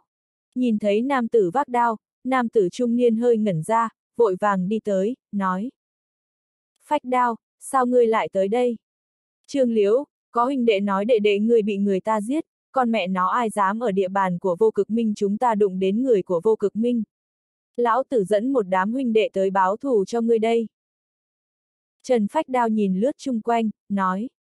Là ai giết, hôm nay lão tử sẽ một đao chém chết hắn. Trương Liễu lắc đầu, nói. Bỏ đi. Sự khủng bố của minh nữ hắn hiểu rõ hơn bất kỳ ai, đừng nói đệ đệ hắn bị giết, cho dù là đệ đệ của minh chủ bị giết chỉ sợ minh chủ cũng chỉ có thể nhịn. Sao có thể nhịn được chứ? Trần Phách Đao giận dữ hét.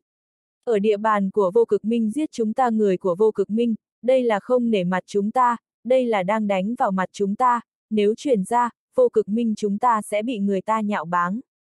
Cho nên, đây không phải là chuyện của một mình ngươi, đây là chuyện của toàn bộ vô cực minh chúng ta. Trương Liễu lắc đầu, đang muốn nói gì đó thì lúc này một thanh niên bên cạnh Trần Phách Đao đột nhiên chỉ vào Dương Diệp ở xa xa, nói. Trần Hộ Pháp, hắn chính là người đã giết đệ đệ của Trương Liễu, ta lúc ấy tận mắt nhìn thấy, là hắn đó. Trần Phách Đao nhìn về phía Dương Diệp, giận dữ hét. Cản hắn lại cho ta. Mọi người ở bên cạnh hắn thân hình khẽ động, nháy mắt đã đi tới trước mặt Dương Diệp, sau đó bao vây lấy Dương Diệp. Thấy thế, Trương Liễu vội vàng, nói. Phách đao, nghe ta, bỏ qua việc này đi. Tuy không biết người trước mắt này là ai, nhưng người có thể một quyền đánh bay một bán thánh, có thể là một nhân vật đơn giản sao? Lại nói, đối phương là cùng một nhóm với minh nữ. Lúc này trong lòng hắn thật sự có chút hối hận, hối hận vì lúc ấy không nhịn được mà tìm tới gây phiền toái. Thối lắm! Trần Phách Đao tức giận nhìn Trương Liễu, nói. Trương Liễu, người con mẹ nó có còn chứng không? Người ta giết đệ đệ đem ngươi rồi, ngươi không ngờ còn bảo vệ hắn như vậy, người có nghĩ tới đệ đệ ngươi không? Hắn ở trên trời có linh thiêng liệu có thể yên nghỉ hay không? Nghe vậy, Trương Liễu trầm mặc, nghĩ đến lúc trước đệ đệ hắn. Chết thảm, một tia lệ khí dần dần hiện lên trong mắt hắn. Trần Phách Đao lại nói. Không phải là lai lịch có chút bất phàm thôi sao? Sợ gì chứ? Xảy ra chuyện lớn đến mấy ta cũng sẽ chịu trách nhiệm cho ngươi, ta không gánh được thì còn có ngàn vạn huynh đệ của vô cực minh. Nói xong, Trần Phách Đạo trực tiếp đi tới trước mặt Dương Diệp, sau đó nói. Tiểu tử, bất kể ngươi là ai, giết người của vô cực minh ta thì phải trả một cái giá cực đắt. Hôm nay lão tử sẽ phân thây ngươi thành ngàn khối, để thế nhân biết rằng vô cực minh ta không phải là ai cũng có thể bắt nạt. Dương Diệp xòe tay, nói. Đệ đệ hắn không phải ta giết, các ngươi tìm ta là tìm sai người rồi. Không tin thì ngươi hỏi người bên cạnh ngươi đi, hỏi hắn xem, đệ đệ hắn có phải là ta giết hay không? Trần Phách Đao quay đầu nhìn về phía Trương Liễu, mà lúc này, thanh niên bên cạnh đó lại nói. Trương Biểu không phải do hắn giết, mà là một nữ tử giết, nhưng và nữ tử đó là cùng một bọn. Phách Đao nhìn về phía Dương Diệp, Dương Diệp gật đầu, nói. Kỳ thật hắn nói cũng đúng, chúng ta tạm thời quả thật được tính là một nhóm. Nhưng oan có đầu, nợ có chủ, người giết đệ đệ hắn là nàng ta, vậy các ngươi nên tìm nàng ta mới đúng, người nói xem có đúng không? Người chết chắc rồi, coi như là để báo thù cho đệ đệ của ta. Lúc này, Trương Liễu đột nhiên gần giọng nói. Hắn biết rõ, tìm minh nữ, vậy thì bất kể là như thế nào là cũng không được, nếu như vậy, chỉ có thể tìm người trước mắt này. Bởi vì lai lịch của đối phương có lớn đến mấy cũng tuyệt đối không thể lớn bằng minh nữ. Nghe vậy, Dương Diệp lập tức nổi giận, nói. ngươi có phải thật sự cho rằng ta dễ bắt nạt, cho nên ngươi ra sức mà bắt nạt đúng không? Lúc này, cổ tay phách đao đột nhiên khẽ động, đại đao chỉ thẳng vào Dương Diệp, giận dữ hét. Lão tử bắt nạt ngươi đó, ngươi con mẹ nó làm được gì nào? Trần phách đạo vừa mới dứt lời, hai mắt hắn lập tức trợn lên, mắt thiếu chút nữa thì lồi ra, bởi vì một bàn tay đã bóp lấy cổ hắn. Tất cả mọi người có mặt nhìn một màn trước mắt này với vẻ bất khả tư nghị. Dương Diệp tóm cổ Trần Phách đao, khóe miệng nở một nụ cười, nói. Ngươi yếu như vậy thì làm sao mà bắt nạt ta được? Trong mắt Trần Phách đao trừ vẻ giữ tợn ra thì còn có vẻ hoảng sợ. Hắn là hoàng giả cảnh ngũ phẩm, nhưng khi người trước mắt này xuất thủ, hắn lại ngay cả nhìn cũng không thể nhìn rõ. Trời ơi, người trước mắt này là bán thánh sao? Người dám giết người của vô cực minh ta, người chắc chắn sẽ phải chết. Trương Liễu cả giận nói. Rắc, một tiếng xương gãy giòn tan vang lên, đầu Trần Phách đao nghẹo sang một bên, đã triệt để tắt thở. Dương Diệp thu tay lại, thản nhiên nhìn Trương Liễu, nói. Ta có chết hay không thì ta không biết, ta chỉ biết là cho ngươi cơ hội sống NS dứt lời, thân hình Dương Diệp khẽ động, nháy mắt đã tới trước mặt Trương Liễu, tay phải đột nhiên đánh một quyền về phía Trương Liễu. Trương Liễu biến sắc, hai tay chập vào nhau, vội vàng nghênh đón. ầm, um, Trương Liễu trực tiếp bay ngược ra ngoài, cuối cùng đâm vào một căn nhà mới dừng lại được. Chết rồi, ưng ngươi không biết quý trọng, vậy thì ngươi chết đi. Một kích chết luôn. Huyền giả vô cực minh còn lại hoảng hốt, không chút nghĩ ngợi liền xoay người bỏ chạy. Nói đùa à, giết cường giả hoàng giả cảnh như giết chó, ai dám động thủ nữa. Vỗ vỗ tay, Dương Diệp xoay người về lại chỗ cũ, sau đó lấy ra hộp kiếm không hoàn chỉnh đó. Hộp kiếm có màu đen sẫm, quanh hộp kiếm giải rác những phù văn kỳ dị, mà ở đỉnh hộp kiếm có một góc không hoàn chỉnh, điều này khiến cho hộp kiếm này thật sự trông có chút khó coi. Công hiệu của hộp kiếm bình thường là để xếp kiếm trận, hoặc là tăng cường cho uy lực của kiếm. Dương Diệp sở dĩ coi trọng hộp kiếm này chủ yếu là bởi vì trực giác, cho tới sau khi nhìn kỹ hộp kiếm, phát hiện hộp kiếm này có chút bất phàm, không nói cái khác, chỉ sự cứng rắn của chất liệu hộp kiếm đã tốt hơn rất nhiều so với chất liệu của huyền bảo đạo cấp rồi. Ngoài ra, chính là phù văn bên trên hộp kiếm. Tuy hắn biết phù văn, nhưng cũng chỉ có thể coi như là hiểu được một hai, bởi vậy, công hiệu và tác dụng của phù văn bên trên hộp kiếm hắn căn bản đọc không hiểu, nhưng trực giác nói với hắn, thứ này không đơn giản, hơn nữa 2.000 viên đá năng lượng siêu phẩm đối với hắn mà nói thì chẳng có gì là quan trọng, bởi vậy lúc trước hắn mới muốn mua. Nhưng không ngờ, cuối cùng lại có được miễn phí. Ca ca, cho ta chút tiền đi, được không? Khi Dương Diệp đang cẩn thận xem xét hộp kiếm, một giọng nói trong trẻo, hơn nữa có chút yếu ớt từ sau lưng hắn chuyển đến, khiến cho con ngươi Dương Diệp hơi co rút lại, đồng thời còn nổi da gà. Nguy hiểm, nguy hiểm rất lớn. Đây không phải là trực giác của Dương Diệp, mà là cảnh báo đến từ Hồng Mông Tháp. Hồng Mông Tháp cảnh báo. Lần đầu tiên, Hồng Mông Tháp chủ động nhắc nhở hắn có nguy hiểm. Huyền khí trong cơ thể Dương Diệp sôi sục điên cuồng, dưới quần áo, long lân trong nháy mắt hiện lên. Dương Diệp chậm rãi xoay người, chỉ thấy một tiểu cô nương đang nhìn hắn với vẻ đáng thương. Tiểu cô nương khoảng chừng 10 tuổi, quần áo rách tả tơi, đầu tóc bẩn thỉu, trên mặt lại dính rất nhiều bùn đất, quan trọng nhất là tiểu cô nương này không có tay, hai ống tay áo trống rỗng. Không nhìn ra cảnh giới của tiểu cô nương, hoàn toàn chính là tà tiểu cô nương bình thường. Nhưng Dương Diệp biết rất rõ, chuyện không đơn giản như vậy. Tuốt tiên không nói tới cảnh báo của Hồng Mông Tháp, chỉ nói thiếu cô nương đi tới phía sau hắn từ lúc nào mà hắn không ngờ lại không hề phát hiện ra. Không chỉ như vậy, giống như hiện tại, thần thức của hắn vẫn không cảm giác được sự tồn tại của tiểu cô nương. Trong lòng Dương Diệp rất rung động, bởi vì, cho dù là bán thánh, cũng không thể vô thanh vô tức đi tới phía sau hắn như vậy được. Càng không thể khiến hồng mông tháp chủ động phát ra cảnh báo. Ca ca, cho ta chút tiền đi, được không? Tiểu cô nương nhìn Dương Diệp, giọng nói ôn nhu yếu ớt, bộ dạng yếu đuối.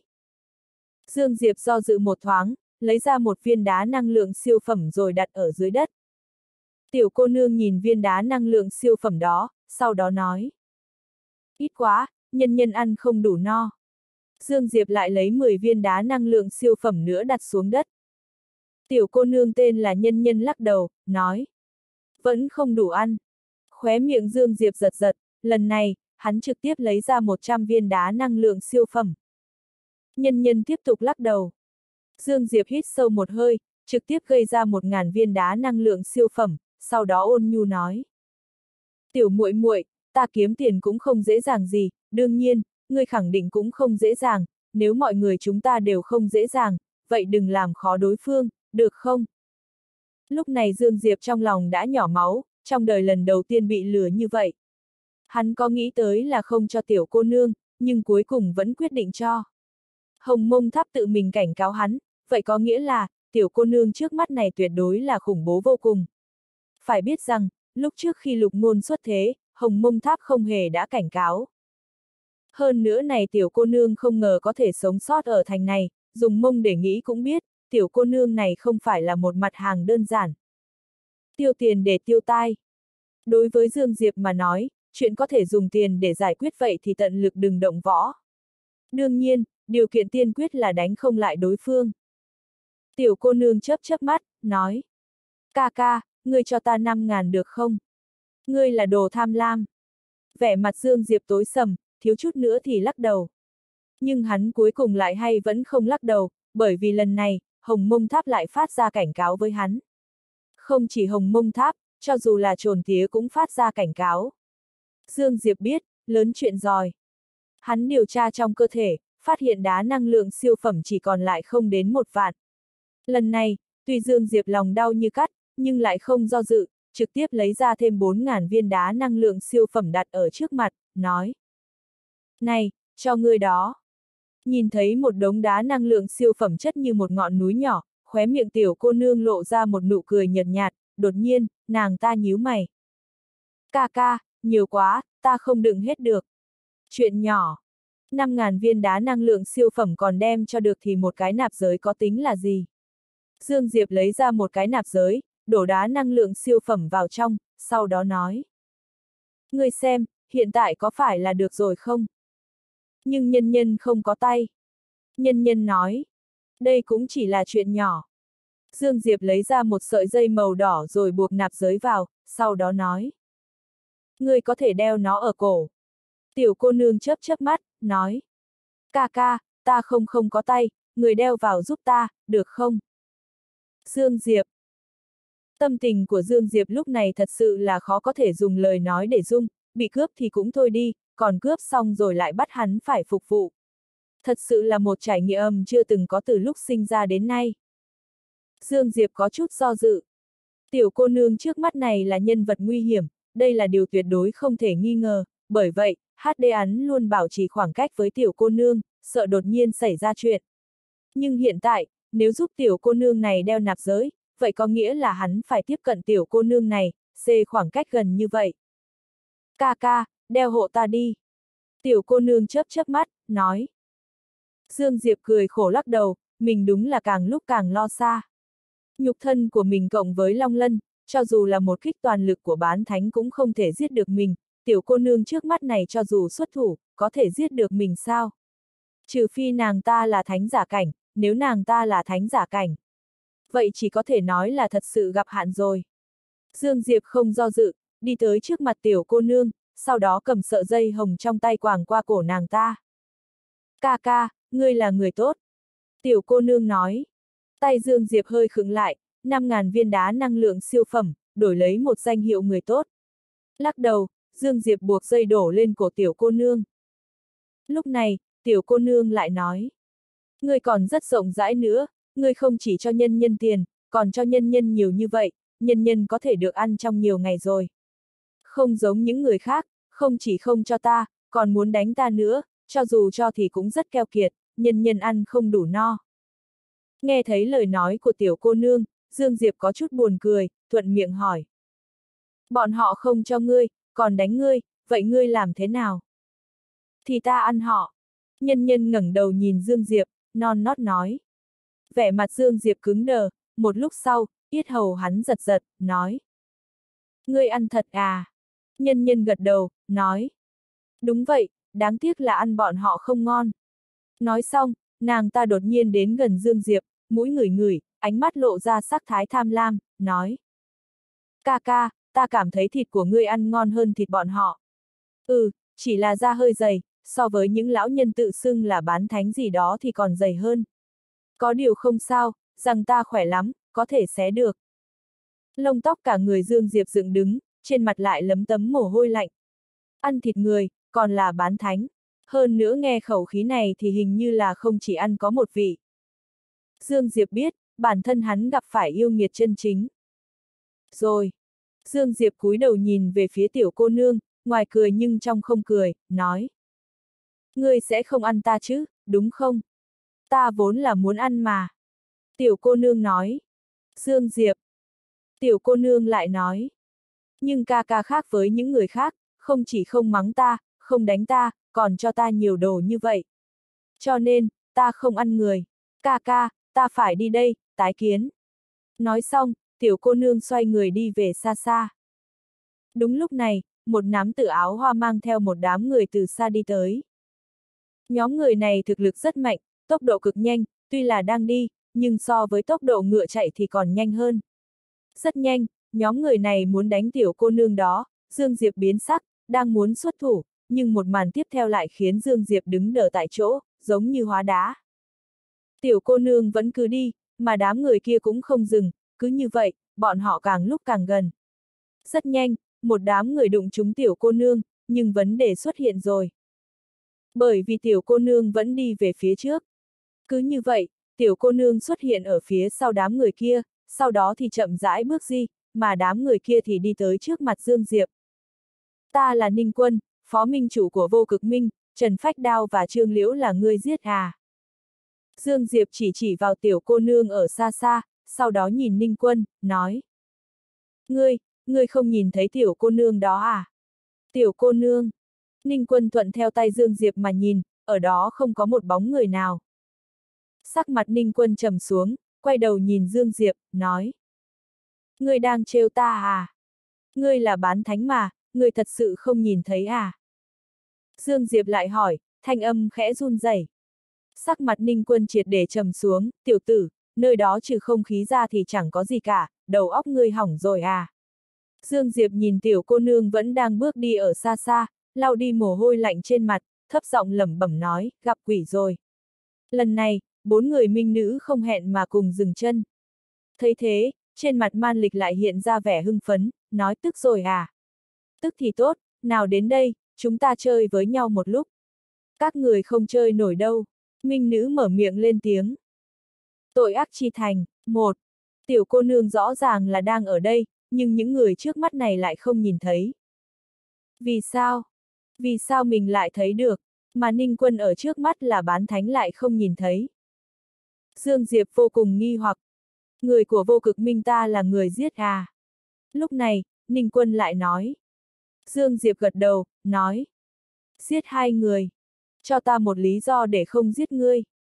Ninh quân trầm giọng nói. Có bản sự thì ngươi có thể thử. Đúng lúc này, ở bên cạnh đột nhiên truyền đến một giọng nữ, Ninh quân biến sắc, quay đầu nhìn lại, chỉ thấy một nữ tử đang bồng bềnh ở cách đó không xa. Có bản sự thì ngươi có thể thử.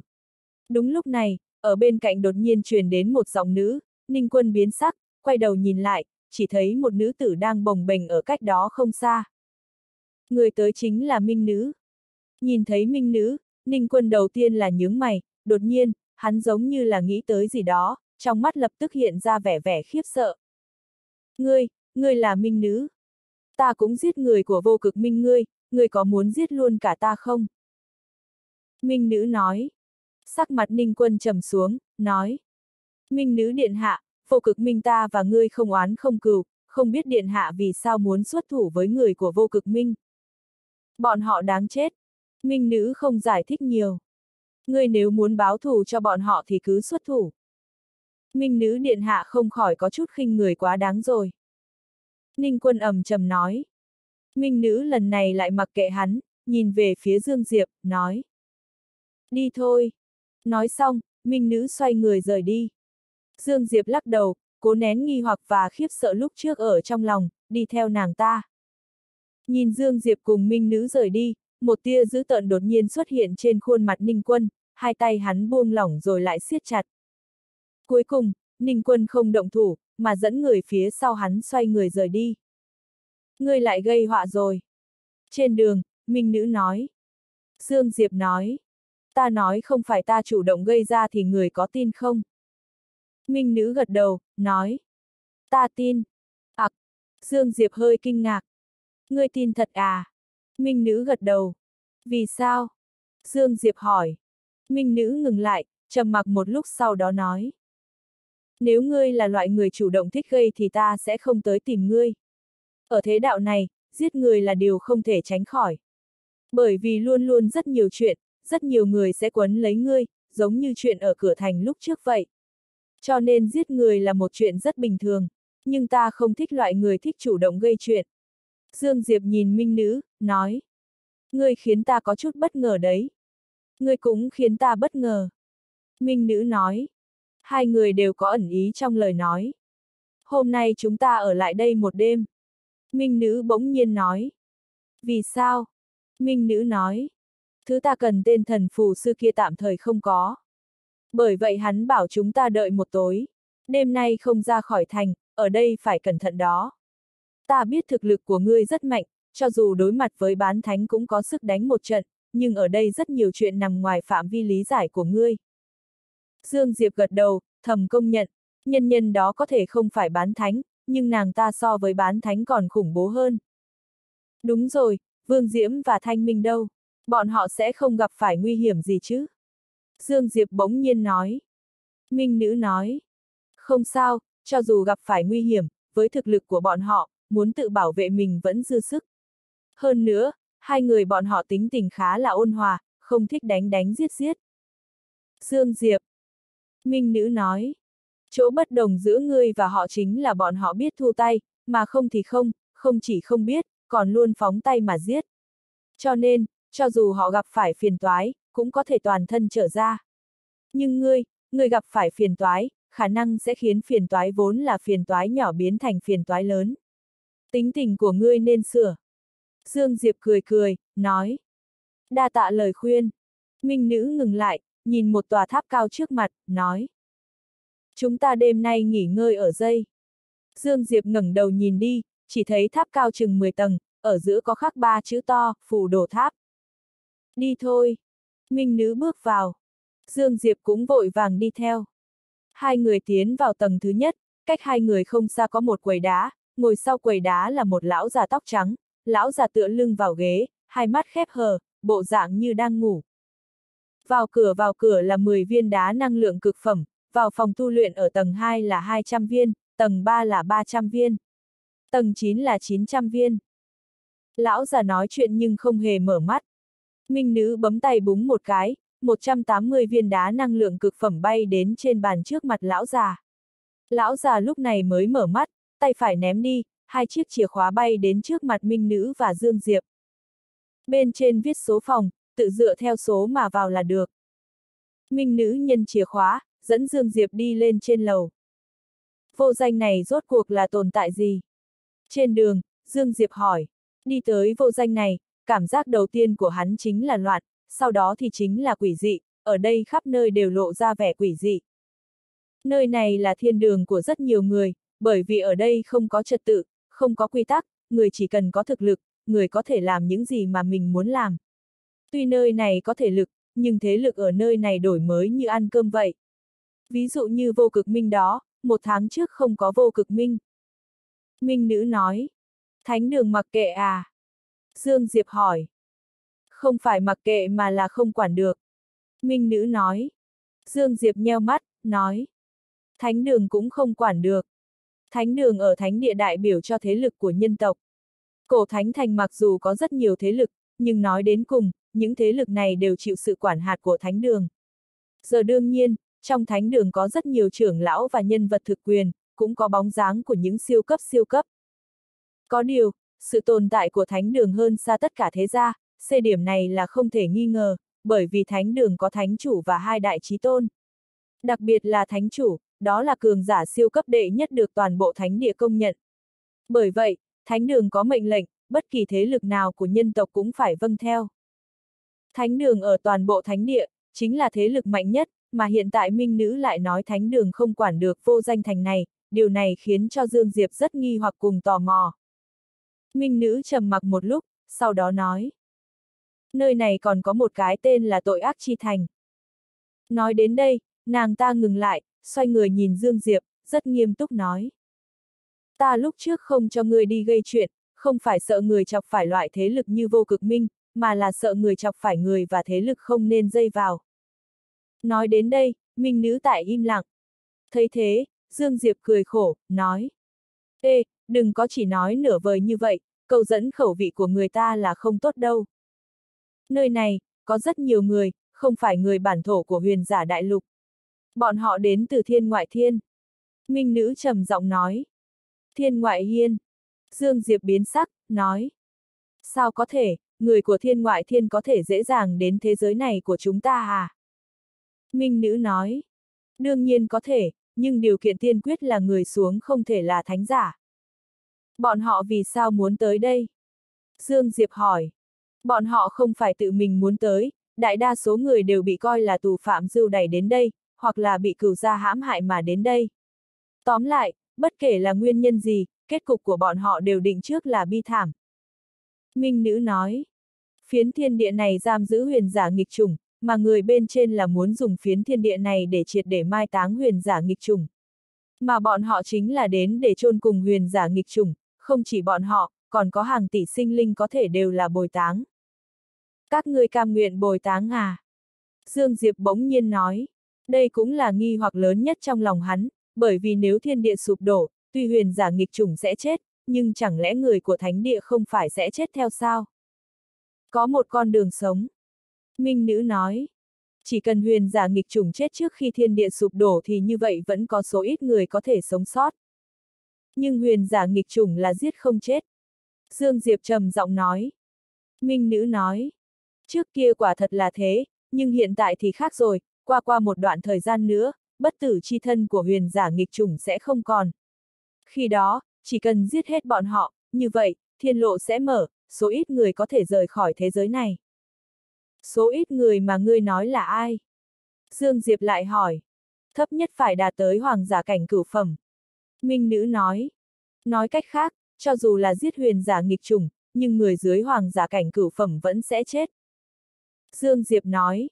Minh nữ nói. Đây là con đường duy nhất, bằng không tất cả mọi người sẽ phải chết. Dương Diệp trầm mặc, hiện tại hắn cuối cùng cũng minh bạch, người của thánh địa vì sao điên cuồng giết huyền giả nghịch trùng như vậy, bởi vì huyền giả nghịch trùng không chết thì bọn họ sẽ chết.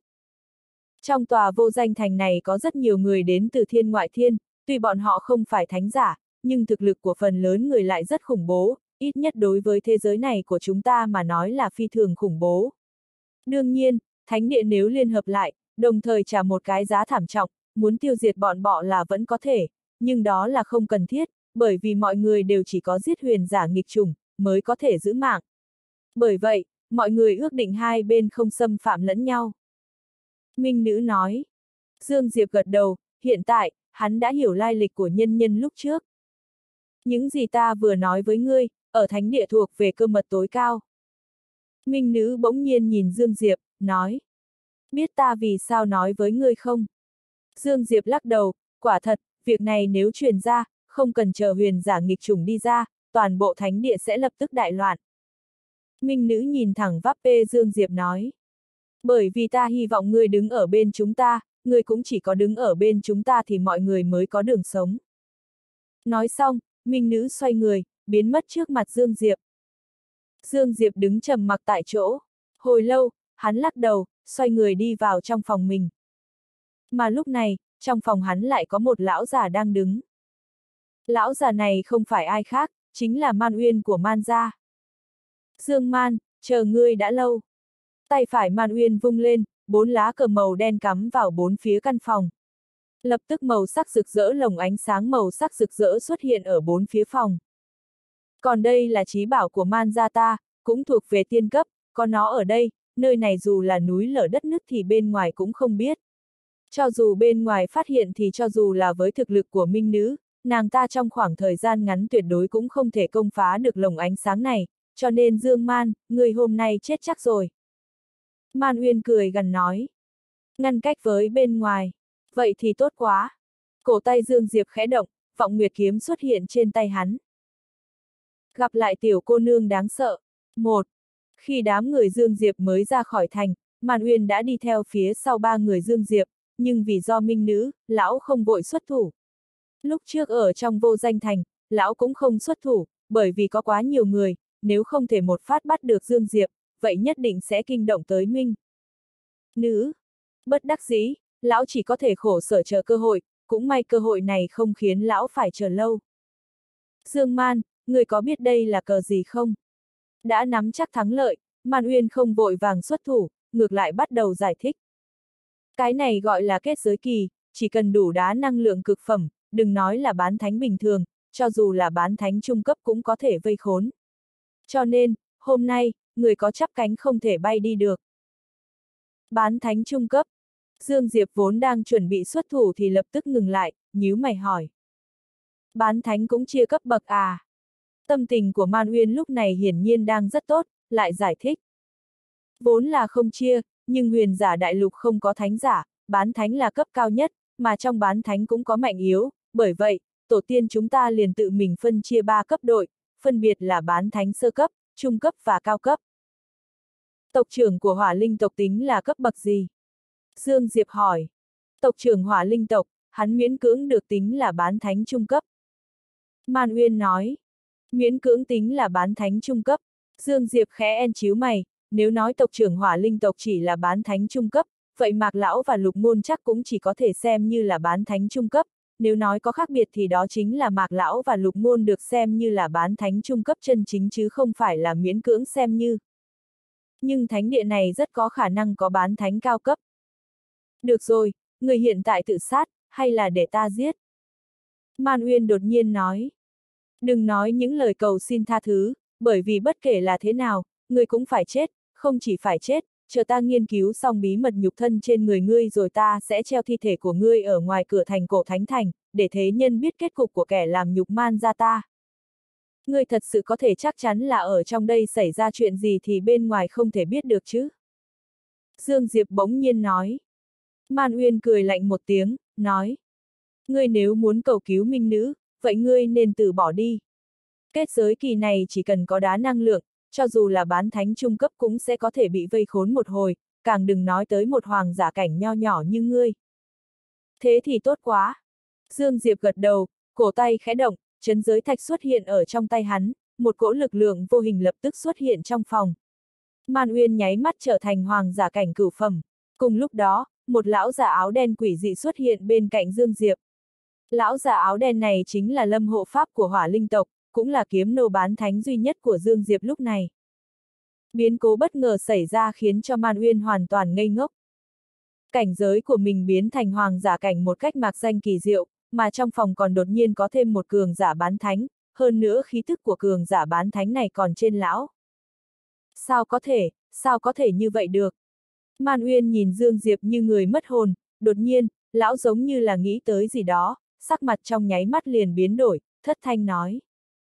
Ngươi, ngươi là Dương Diệp, ngươi là Dương Diệp đã diệt hỏa linh tộc, ngươi. Man Uyên vừa nói vừa muốn triệt kết giới, sau đó chuẩn bị bỏ chạy. Dương Diệp là tồn tại gì? Đó là tồn tại giết tiền mấy vị trưởng lão của thánh đường, lại dùng sức của một người diệt hỏa linh tộc. Tuy đối phương chỉ bà hoàng giả cảnh, nhưng lão hắn biết rõ, với sức của một mình lão, tuyệt đối không thể giết được đối phương, thậm chí bản thân còn gặp nguy hiểm tới tính mạng, đặc biệt Úc này đối phương có bán thánh, mà lão lại chỉ là hoàng giả cảnh. Cho nên, lão quyết đoán lựa chọn rút, chỉ cần chạy được thì Dương Diệp chắc chắn sẽ phải chết. Đáng tiếc lão vẫn chậm rồi. Đầu tiên là kiếm nô bán thánh lợi dụng khí thế của bản thân mạnh mẽ chấn áp lão, khiến cho tốc độ của lão biến thành vô cùng chậm chạp. Tiếp theo một đạo kiếm quang nhanh đến cực hạn xuyên qua ngực lão. Kiếm quang rất nhanh, nhanh đến mức cơ hồ là không thể nhìn thấy, nếu không phải bụng lão xuất hiện một lỗ kiếm thì chỉ sợ ngay cả lão cũng đều cho rằng lúc trước căn bản là chưa từng xuất hiện kiếm quang. Với thực lực vốn có của lão, tuy loại tốc độ này có thể uy hiếp lão, nhưng vẫn không thể giết được lão. Nhưng hiện tại, cảnh giới của bản thân lão hạ xuống mà Dương Diệp thì lại có một có một cường giả bán thánh tương trợ. Lão không có sức hoàn thủ. Man Uyên đã chết, bị mất mạng dưới một kích. Dương Diệp đi tới trước mặt Man Uyên, tay phải vung lên, thu lại thi thể của Man Uyên. Tuy kiếm linh hiện tại không thể luyện chế kiếm nô, nhưng thì hắn có thể, bởi vì kiếm kinh trước khi ngủ đã truyền phương pháp luyện chế kiếm nô cho hắn. Lại có thêm một kiếm nô bán thánh. Chủ nhân, ta cảm thấy mình sắp tấn thăng rồi. Lúc này, Lâm Hộ Pháp đột nhiên nói. Tấn thăng. Dương Diệp hơi sửng sốt, nói. Ngươi chắc chứ? Lâm Hộ Pháp nói. Không dám giấu chủ nhân. Ta vốn lúc trước đã là bán thánh sơ cấp đỉnh phong, những năm gần đây cực khổ tu luyện nhưng không gặp được cơ duyên, bởi vậy vẫn dừng ở bán thánh sơ cấp. Nhưng ở trong tháp đó của chủ nhân, linh khí nơi đó đầy đủ, hơn nữa ta còn cảm thấy linh khí đó dường như có chút khang khác, nói chung là ta rất khát vọng có được thật nhiều loại linh khí nà. Mấy ngày nay, ta không ngừng hấp thu, không ngừng tu luyện, sau đó, ta phát hiện mình sắp đột phá. Do hồng mông tử khí. Nghe thấy lời nói của Lâm Hộ Pháp, Dương Diệp lập tức minh bạch. Tuy hồng mông tử khí chân chính trong hồng mông tháp ít tới đáng thương, nhưng so với linh khí trong hồng mông tháp thì linh khí ở thế giới bên ngoài không thể so bì. Hơn nữa tuy hồng mông tử khí chân chính ít, nhưng nó dù sao cũng là cũng có. Lâm hộ pháp này chỉ cần hấp thu một chút, cho dù chỉ là một chút cũng là cơ duyên rất lớn. Lâm hộ pháp sắp tấn thăng, điều này đối với Dương Diệp mà nói là chuyện tốt, chuyện rất tốt. Chỉ cần lâm hộ pháp tấn thẳng đến bán thánh trung cấp, vậy sau này cho dù gặp phải loại bán thánh như tộc trưởng hỏa linh tộc cũng có sức đánh một trận. Hơn nữa, có bán thánh trung cấp, tương lai cơ hội thành công cứu bản thể kiếm linh cũng sẽ lớn. Hơn rất nhiều, tóm lại, chỉ cần lâm hộ pháp này thành công tấn thăng đến bán thánh trung cấp, vậy sẽ mang lại cho hắn rất nhiều lợi ích. Cần thời gian bao lâu? Dương Diệp hỏi.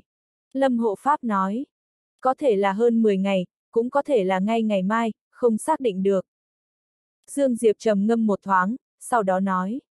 Không sao, trong khoảng thời gian ngắn ta sẽ không cần ngươi ra ngoài, người cứ an tâm ở trong đó, thành công thì hãng ra. Vâng. Lâm hộ pháp hơi cúi người với Dương Diệp, tay phải Dương Diệp vung lên, lập tức đưa lão vào hồng mông tháp. Sau khi Dương Diệp đưa Lâm hộ pháp vào hồng mông tháp, ánh mắt hắn hướng vào lồng ánh sáng ở chung quanh, do dự một thoáng, kiếm của hắn khẽ động, một đạo kiếm khí bắn ra, đánh lên lồng ánh sáng đó. Kiếm khí đánh vào lồng ánh sáng, không hề phát ra chút tiếng vang nào, lồng ánh sáng chỉ hơi run run. Nhìn thấy một mưa càn này, Dương Diệp vui lắm, nói. Không tồi không tồi, màn uyên đó không bốc phét, kết giới kỳ này quả nhiên là bảo bối tốt. Tay phải Dương Diệp vung lên, bốn lứa cờ màu đen ở bốn phía lập tức bay đến trên tay hắn, sau khi tìm hiểu một lúc, hắn biết phải dùng lá cờ này như thế nào. Cũng như man thần giáp, cũng cần tinh huyết, sau khi nhỏ một giọt tinh huyết vào, bốn lá cờ màu đen đã có liên hệ nhất định với tâm thần của hắn. Muốn thúc giục kết giới kỳ này cần đá năng lượng, mà kết giới kết giới kỳ này bố trí ra cũng chia ra các trình độ khác nhau. Phân biệt là thiên cấp, địa cấp, huyền cấp. Lúc trước kết giới màn huyền bố trí là huyền cấp cấp thấp nhất, bởi vậy, đá năng lượng tiêu hao tương đối ít hơn, chỉ cần 1.000 viên đá năng lượng cực phẩm. Có điều đối với Dương Diệp mà nói, đây đã là điều rất khủng bố, bởi vì 1.000 viên đá năng lượng cực phẩm chỉ có thể thôi động kết giới kỳ này mà thôi, muốn duy trì kết giới thì cần nhiều đá năng lượng hơn. Ví dụ như lúc trước, còn chưa đến thời gian 100 hơi thở, màn uyên này đã tiêu hao ít nhất 5.000 viên đá năng lượng cực phẩm. Đương nhiên, so với địa cấp và thiên cấp, thế đã tính là ít rồi. Muốn bố trí kết giới địa cấp, đầu tiên là dùng 5.000 viên đá năng lượng cực phẩm để thôi động, sau đó đá năng lượng sẽ tiêu hao mỗi hơi thở 100 viên. Về phần thiên cấp, vậy thì càng khủng bố hơn. Bắt đầu thôi động đã cần 2 vạn viên đá năng lượng cực phẩm, mà sau đó đá năng lượng sẽ tiêu hao mỗi hơi thở 1.000 viên, 10 hơi thở là 10 vạn viên, trăm hơi thở chính là 10 vạn viên.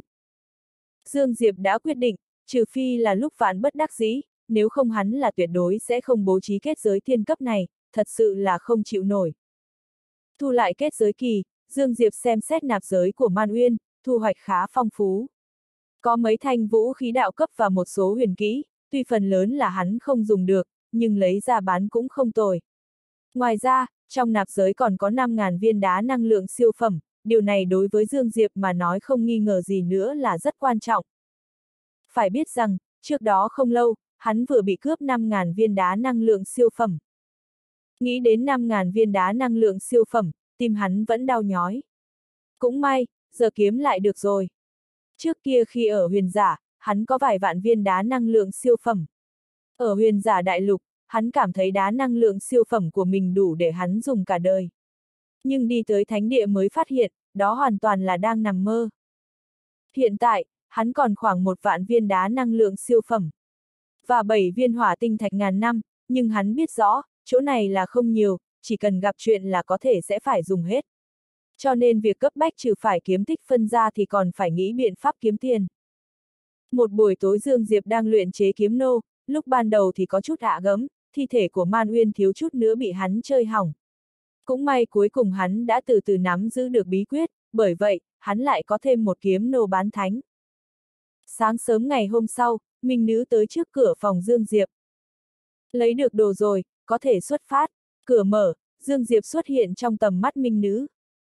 Đi thôi. Tối hôm qua không xảy ra chuyện gì chứ? Minh Nữ hỏi. Dương Diệp nhìn Minh Nữ, sau đó lắc đầu, nói. Không vừa nằm xuống cái là ngủ tới lúc mặt trời mọc luôn. Minh Nữ nhìn Dương Diệp một hồi, sau đó gật đầu, nói. Đi thôi. Ra tới cửa tháp, Dương Diệp lại nhìn thấy Vương Diễm và Thanh Minh, hai người hơi gật đầu với hắn sau đó thì thu hồi ánh mắt. Mà lúc này, sắc mặt Dương Diệp lại thay đổi, bởi vì cách hai người không xa, một tiểu cô nương đang đứng, tiểu cô nương đó chính là nhân nhân. Nhân nhân nhìn thấy Dương Diệp đi ra, trên mặt lập tức xuất hiện một nụ cười nhợt nhạt, nói. Ca ca, người cũng ở đây à? Trên mặt Dương Diệp lộ ra nụ cười khó coi, nói. Thật khéo quá. Nghe thấy Dương Diệp nói chuyện, Vương Diễm và Thanh Minh cùng Minh Nữ đều hướng ánh mắt nghi hoặc sang. Nhìn thấy ánh mắt nghi hoặc của ba người, yết hầu Dương Diệp giật giật, nói. Các ngươi, các ngươi đừng nói với ta là các ngươi cũng không nhìn thấy nàng ta. Mày hai người Vương Diễm và Thanh Minh nhíu càng chặt, vẻ nghi hoặc trong mắt càng dày đặc. Khóe miệng Dương Diệp giật giật, nhìn về phía minh nữ, nói. Ngươi thì sao, ngươi cũng không nhìn thấy à? Minh nữ thuận theo ánh mắt của Dương Diệp nhìn lại, một lúc sau, nàng ta nói. Ngươi xác định nơi đó có người chứ? Dương Diệp. Các ngươi chơi không nổi. Một. Lần này, Dương Diệp có chút lạnh toát người. Cường giả bán thánh không nhìn thấy tiểu cô nương, hắn ít nhiều còn có thể chấp nhận, bởi vì chính hắn từng giết rất nhiều bán thánh, bởi vậy, cường giả bán thánh ở trong lòng hắn, không phải quá cao lớn. Nhưng minh nữ không nhìn thấy, hắn liền cảm thấy có chút khủng bố. Đi thôi. Minh nữ nói xong câu này, thân hình khẽ động, biến mất ở xa xa. Mà đó và thanh minh thì nhìn Dương Diệp một cái rồi mới đi. Sau khi ba người minh nữ rời đi, nhân nhân đột nhiên nói. Ca ca, vừa rồi tỷ tỷ kia nói dối đó. Nói dối á. Dương Diệp không hiểu. Thế là sao? Nhân nhân cười khúc khích, nói. Nàng ta, kỳ thật có thấy nhân nhân. Dương Diệp hơi biến sắc, thì ra minh nữ thấy được nhân nhân, nhưng nàng ta vì sao muốn làm bộ như không thấy. Lúc này, nhân nhân lại nói. Ca ca đi cùng với nàng ta thì phải cẩn thận đó. Vì sao? Dương Diệp hỏi. Trên người nàng ta không có sinh cơ, không mùi người. Hơn nữa thọ mệnh của nàng ta chắc từ rất lâu trước đã không còn rồi. Vậy nàng ta sao vẫn có thể còn sống? Dương Diệp lại hỏi. Nhân nhân cười khúc khích nói. Nghịch chuyển âm dương. Nghịch chuyển âm dương. Dương Diệp nhíu mày. Nhân nhân vừa nói vừa đi tới trước mặt Dương Diệp. Ca ca biết không, trừ nhân nhân tự nguyện để cho người khác nhìn thấy ra, chỉ có hai loại có thể nhìn thấy nhân nhân, một loại là người rất rất lợi hại, loại còn lại là không phải là người. Tỷ tỷ vừa rồi chính là thuộc loại sau, mà ca ca, người có biết người thuộc về loại nào không? Không phải người tự nguyện cho ta nhìn thấy à? Dương Diệp khó hiểu. Nhân nhân lắc đầu, nói. Lúc đầu ta quả thật là vì đói bụng, cho nên mới tự nguyện để ca ca nhìn thấy. Nhưng vừa rồi, ta không tự nguyện để ca ca nhìn thấy, nhưng ca ca lại vẫn thấy ta. Nghe vậy, một giọt mồ hôi lạnh hiện lên trên trán Dương Diệp, yết hầu Dương Diệp giật giật, nói. Ngươi đừng nói với ta, ta cũng không phải là người. Nhân nhân nói. Ca ca khẳng định là người, bởi vì trên người người có mùi người, có sinh cơ. Nhưng ca ca rõ ràng rất yếu mà, vì sao có thể nhìn thấy ta? Tò mò quá. Rất yếu. Khóe miệng Dương Diệp giật giật, do dự một thoáng, hắn lại hỏi. Ngươi lợi hại cỡ nào? Đây là chuyện hắn rất muốn biết. Rất lợi hại. Rất lợi hại là lợi hại cỡ nào? Nhân nhân chớp chớp mắt, nói. Ta có thể ăn sạch người trong tòa thành này. Dương Diệp. Nhân nhân cười khúc khích, sau đó đi đến phủ đồ tháp, khi đi đến cửa phủ đồ tháp, nàng lại xoay người nhìn Dương Diệp, nói. Ca ca sau này có thể tới tìm ta để chơi, nếu mang tới cho ta đồ ăn thì càng tốt. Nói xong, nàng ta xoay người đi vào trong tháp. Đứng lặng tại chỗ, Dương Diệp mãi lâu sau vẫn chưa hoàn hồn. Lúc này đầu óc hắn hơi loạn, minh nữ thì ra không phải là người. Nàng ta không phải người, vậy thì là gì? Chẳng lẽ là hồn phách à? Còn có nghịch chuyển âm dương đó là thế nào? Còn nữa, mình vì sao có thể nhìn thấy nhân nhân này? Trong đầu Dương Diệp trăm mối ngổn ngang không thể giải thích nổi, mà nhân nhân đó rõ ràng cũng không định nói với hắn. Đứng trầm mặc tại chỗ một lúc, thân hình Dương Diệp khẽ động rồi biến mất tại chỗ. Ra khỏi vô danh thành, Dương Diệp gặp Minh Nữ, mà Vương Diễm và Thanh Minh thì không thấy đâu. Bọn họ đi trước một bước rồi. Minh Nữ nói. Dương Diệp gật đầu, nói. Chúng ta cũng đi thôi. Ngươi không hỏi ta vì sao à? Minh Nữ bỗng nhiên nói. Dương Diệp lắc đầu, nói. người nguyện ý nói thì khẳng định sẽ nói, bằng không, ta có hỏi cũng vô dụng. Sau này ít tiếp xúc với nàng ta thôi. Minh Nữ bỗng nhiên nói. Vì sao? Dương Diệp hỏi. Minh Nữ trầm mặc một lúc, sau đó nói. Ết nàng ta rất nguy hiểm, nàng ta nếu muốn giết người, với thực lực hiện tại của người thì căn bản không thể phản kháng. Đây là nguyên nhân thật sự. Dương Diệp nhìn Minh Nữ hỏi. Trầm mặc hồi lâu, Minh Nữ lại nói. Chắc hẳn ngươi cũng đoán ra lai lịch của nàng ta rồi. Đúng vậy, nàng ta chính là đến từ thiên ngoại thiên. Ta chỉ có thể nói, người từ thiên ngoại thiên đến phần lớn đều là một số người rất đáng thương, cũng chính bởi vì đáng thương cho nên họ mới Đáng sợ, bởi vì bọn họ phần lớn là tâm tính đã lệch lạc, còn hỉ nộ vô thường, đã thế lại có thực lực cường đại. Tiếp xúc với người như thế, có thể sẽ tùy thời phải chết. Dương Diệp trầm mặc một hồi, sau đó nói. Đa tạ lời khuyên, ta sẽ chú ý, chúng ta đi thôi. Minh nữ nhìn Dương Diệp, cũng không nhiều lời, thân hình khẽ độn bay về phía chân trời. Dương Diệp đi theo. Au một tiếng đồng hồ, bốn người cuối cùng đã tới U Minh Hải. Đứng trên bờ, nhìn U Minh Hải trước mắt, Dương Diệp không khỏi nhíu mày. U Minh Hải này hơ minh mông vô bờ, trên biển không gió không sóng, giống như một đầm nước chết. Quan trọng nhất là nước biển không ngờ có màu lam sẫm. Lúc này, Minh Nữ bấm tay búng một cái, một đạo ánh sáng trắng lóe lên, tiếp theo, trước mặt ba người Dương Diệp đều tự xuất hiện hai tấm phù lục màu vàng. Minh Nữ nói, một tấm là ngũ hành thần phù, có thể đề thăng lực lượng, tốc độ, phòng ngự của các ngươi trong một canh giờ lên gấp 5 lần. Trong một canh giờ này các người mỗi người cầm chân ba gã bán thánh thì không có vấn đề gì chứ? Không thành vấn đề. Vương Diễm dẫn đầu nói.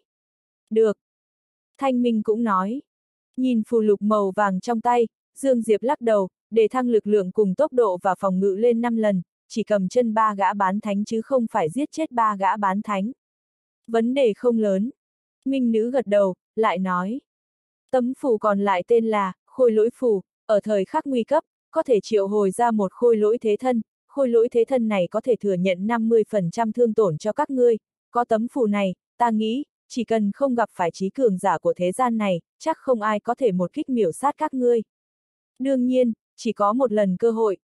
Nghe vậy, ba người động dung, thừa nhận 50% thương tổn, điều này có nghĩa là gì? Đúng như lời minh nữ nói, trừ loại trí cường giả trên thế gian này ra thì tuyệt đối không có ai có thể một kích miểu sát bọn bọ. Mà đối với Dương Diệp mà nói, cho dù là trí cường giả cũng không nhất định có thể một kích miểu sát hắn. Bởi vì phòng ngự của bản thân hắn rất nghịch thiên. Minh nữ lại nói, lần này nhiệm vụ của chúng ta nói đơn giản thì đơn giản, nói khó thì cũng rất khó. Bởi vì chúng ta chỉ cần làm rõ lai lịch của chín tòa thạch quan bên dưới, hoặc là mang về chín tòa thạch quan này, chúng ta chính là đã hoàn thành nhiệm vụ. Nhưng, chắc hẳn các ngươi cũng biết, chuyện khẳng định sẽ không thuận lợi như vậy đâu. Nếu đơn giản thì ngươi đã không gọi chúng ta đi cùng. Vương Diễm nói. Điện hạ, có lợi ích cực lớn tất nhiên cũng có phiêu lưu cực lớn, đạo lý này, chúng ta biết. Vù vù vù. Đúng lúc này, chân trời đột nhiên truyền đến bốn tiếng xé gió, tiếp theo, ba nam một nữ xuất hiện ở cách đám người Dương Diệp không xa. Nam tử cầm đầu khi nhìn thấy đám người Dương Diệp thì hơi ngây ra, ánh mắt hắn nhìn lướt qua trên người đám người Dương Diệp, sau đó thì dừng ở trên người minh nữ, nói. Các hạ chính và à minh nữ điện hạ của thánh đường. Minh nữ khẽ gật đầu. Thì ra ngươi chính là minh nữ đứng đầu thánh bảng của thánh đường. Nam tử hình thể cao lớn bên cạnh nam tử cầm đầu đột nhiên cười lạnh nói. Ai cũng nói ngươi là thiên tài số một của toàn bộ thánh địa, man lịch ta rất hoài nghi về điều này, hay là chúng ta luận bàn nhé? Minh nữ khẽ nhíu mày, lúc này, Vương Diễm đột nhiên nói. Nam tử cầm đầu là Long tộc, tên là Long Huyền, chính là thiên tài số một của Long tộc, từng ăn sống một bán thánh của nhân tộc. Người bên trái hắn tên là Man Lịch, đến từ Man tộc, cũng từng một mình đánh chết bán thánh nhân loại. Người ở bên phải Long Huyền tên là Lôi Hoan, thuộc lôi tộc, cũng từng một mình đánh chết bán thánh. Về phần nữ tử đó thì ta chưa gặp. Nghe thấy lời nói của Vương Diễm, Dương Diệp dùng mình, hiện tại hắn phát hiện yêu nghiệt thiên tài của thánh địa so với tưởng tượng của hắn thì nhiều hơn nhiều, cũng mạnh hơn nhiều. Không chỉ là thiên tài, cho dù là thực lực chân chính của toàn bộ thánh địa cũng mạnh hơn rất nhiều so với trong tưởng tượng của hắn.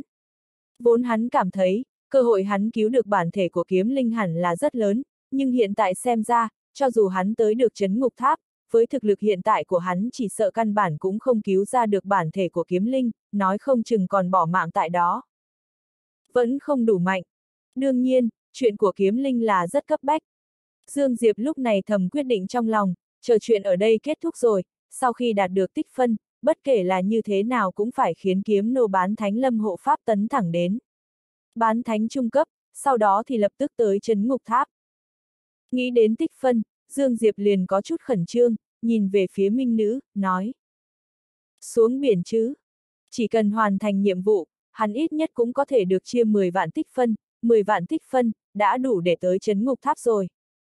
Minh nữ hiển nhiên cũng không có hứng thú với đám người Long Huyền, tức gật đầu, nói. Chúng ta đi thôi. Đứng lại. Ngay khi đám người minh nữ muốn xuống biển thì man lịch ở bên cạnh đột nhiên cười lạnh nói. Mấy vị, không nể mặt nhau vậy à? Nghe vậy, Dương Diệp có chút không biết nói gì. Ê, người đây không phải là rảnh rỗi sinh nông nỗi à? Man lịch cười lạnh một tiếng, nói. Người đã nói như vậy thì cũng không phải là không thể. Dương Diệp hơi ngẩn ra, hắn hiển nhiên không ngờ mấy tên gia hỏa này thật sự là định rảnh quá nên kiếm chuyện. Lúc này, Vương Diễm đột nhiên nói. Người của chủng tộc khác đều có chút căm thù nhân tộc của chúng ta. Bởi vậy, phàm là nhân tộc của chúng ta ở bên ngoài nhìn thấy người tộc khác, ít nhiều sẽ nảy sinh xung đột. Đây là kỳ thị chủng tộc. Dương Diệp xem như đã hiểu. Hắn không nói gì mà nhìn về phía Minh Nữ, dù sao hiện tại mấy người bọn họ là do Minh Nữ dẫn đầu. Minh Nữ rõ ràng là không muốn lãng phí thời gian, trực tiếp phất lờ đám người man lịch, xoay người bước về phía bờ biển. Ba người Dương Diệp tất nhiên là đi theo. Quả nhiên, người của nhân tộc đều nhát gan. Lúc này, đó man lịch đột nhiên cười nhạo nói. Long huyền ở bên cạnh man lịch không nói gì, chỉ là trên mặt lộ vẻ nụ cười thích thú. Minh nữ vẫn không dừng bước. Nhìn thấy một màn này, vẻ châm trọng ở khóe miệng man lịch càng tăng thêm, nói. Thì ra người của nhân tộc chính là loại nhát gan thế này, lão tử nói như vậy mà các ngươi không ngờ cũng không tức giận, các ngươi là không phải là được tiện thú của cầu tộc yếu đuối nuôi lớn đấy chứ. Lần này, bốn người minh nữ không hẹn mà cùng dừng chân. Thấy thế, trên mặt man lịch lại hiện ra vẻ hưng phấn, nói tức rồi à. Tức thì tốt, nào đến đây, chúng ta chơi với nhau một lúc. Các ngươi không chơi nổi đâu. Minh nữ mở miệng lên tiếng. Đánh chết, bao trôn. Một. Điện hạ rất tự tin. Long huyền cười khẽ, nói. Hai. Bất kể là lão bất tử trưởng bối trong tộc của ta hay người bên ngoài, đều nói điện hạ chính là tuyệt thế thiên tài không xuất thế của thánh địa, là người mạnh nhất trong thế hệ trẻ không lộ diện của thánh địa, ta lại cảm thấy hoài nghi và không phục. Đáng tiếc, ta từng tới thánh đường khiêu chiến điện hạ, nhưng người lại không để ý tới ta. Hôm nay, may mắn gặp được, cho nên, chúng ta sẽ luận bàn một chút, xem danh xương đệ nhất thánh đường của ngươi có thật hay không. Còn lại, chính các ngươi chọn, không nên lưu thủ, đánh chết, bao chôn. Minh nữ nói xong câu đó, người đã tiến thẳng về phía Long Huyền, sau đó có từng tiếng nổ lớn vang lên, lực lượng cường đại làm nước biển U Minh Hải ở xa cũng phải quay cuồng. Nữ nhân kia là của ta. Thanh Minh nói xong câu này, người cũng lao ra. Người chọn thế nào? Dương Diệp quay đầu hỏi Vương Diễm. Vương Diễm trầm ngâm một lúc, nói. Ngươi là thể tu, man lệ cũng là loại hình sức mạnh, cho nên, ta chọn lôi tộc. Nói xong, nàng đã xuất hiện trước mặt lôi tộc lôi hoan, đại chiến bắt đầu. Dương Diệp nhún nhún vai với man lệ, nói. Không cần nói nhảm, đến đây đi. Trên mặt man lệ vốn có cao ngạo nhưng cũng trở nên nghiêm túc hơn trước. Cũng không có mở miệng chế ngạo hoặc trào phúng Dương Diệp, làm cho Dương Diệp cảm thấy ngoài ý muốn, hắn vốn cho rằng đối phương hữu dũng vô mưu, bây giờ đối phương còn trầm ổn hơn mình nghĩ rất nhiều. Phanh! Man lệ đạp mạnh xuống đất, lực lượng cường đại tới mức làm mặt đất hóa thành bột mịn, bản thân của hắn đã đi tới trước mặt Dương Diệp, cùng lúc đó, hắn vung tay phải tấn công Dương Diệp, lực lượng cường đại làm cho nước biển U Minh Hải sau lưng Dương Diệp bắn lên cao. Nắm đấm của man lệ đã đánh tới trước mặt Dương Diệp, Dương Diệp lật tay một cái, băng tuẫn xuất hiện ngăn cản nắm đấm của đối phương. Phanh! Nắm đấm của man lệ va chạm với băng thuẫn, đúng như Dương Diệp suy nghĩ, sau một tiếng trầm đục, thân thể man lệ bay ngược về phía sau hơn ngàn trượng. Dương Diệp vẫy vẫy cánh tay phải, nói. Lực lượng không tệ, còn mạnh hơn man hy nhiều. Tuy băng thuẫn bắn ngược lực lượng của đối phương, nhưng vì lực lượng của đối phương quá mạnh mẽ, bởi vậy hắn vẫn bị dư âm ảnh hưởng của đối phương đấy lùi, đương nhiên, hắn không xem lực lượng như thế vào đâu.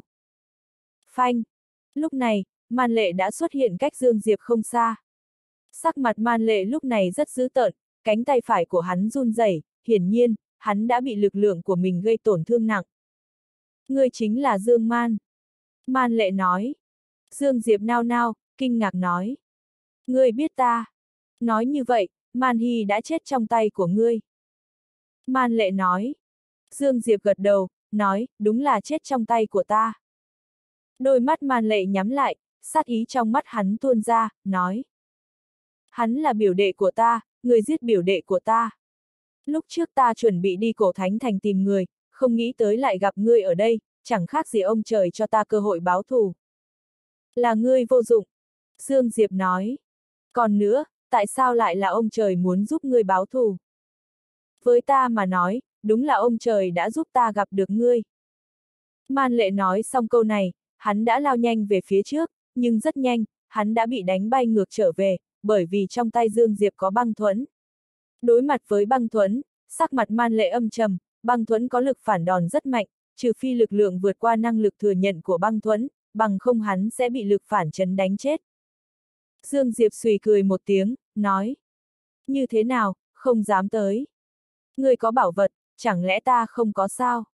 Man lệ lật tay một cái, một thanh thiết trùy cực lớn xuất hiện trong tay hắn. Thiết trùy rất lớn, còn dài hơn thân thể của man lệ. Quanh đầu thiết trùy là gai nhọn chẳng chịt, mỗi cây gai nhọn đều dài hơn 10 tấc. Coi chừng, đó là man thần trùy. Lúc này, giọng nói của minh nữ vọng tới. Man thần trùy. Nghe vậy, Dương Diệp nao nao, đôi mắt của hắn sáng ngời, hắn đã kiến thức man thần giáp khủng bố. Man thần trùy có thể làm cho minh nữ lên tiếng nhắc nhở hắn, nó chắc chắn không phải thứ đơn giản. Ta muốn thiết trùy của ngươi.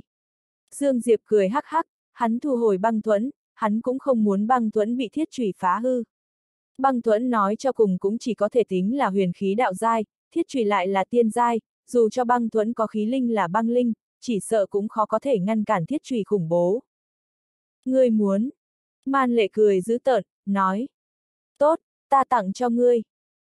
Nói xong, thân hình man lệ khẽ động, hắn đi tới phía trên Dương Diệp, đôi tay cầm thiết trùy nện thẳng vào đầu Dương Diệp. Thiết trùy lực lượng ẩn chưa cường đại, trực tiếp đánh nát mặt đất chung quanh Dương Diệp.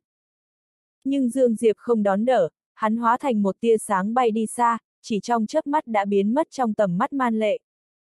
Trốn, ngươi trốn đi nơi nào? Thân thể man lệ khẽ động, hắn lập tức đuổi theo Dương Diệp.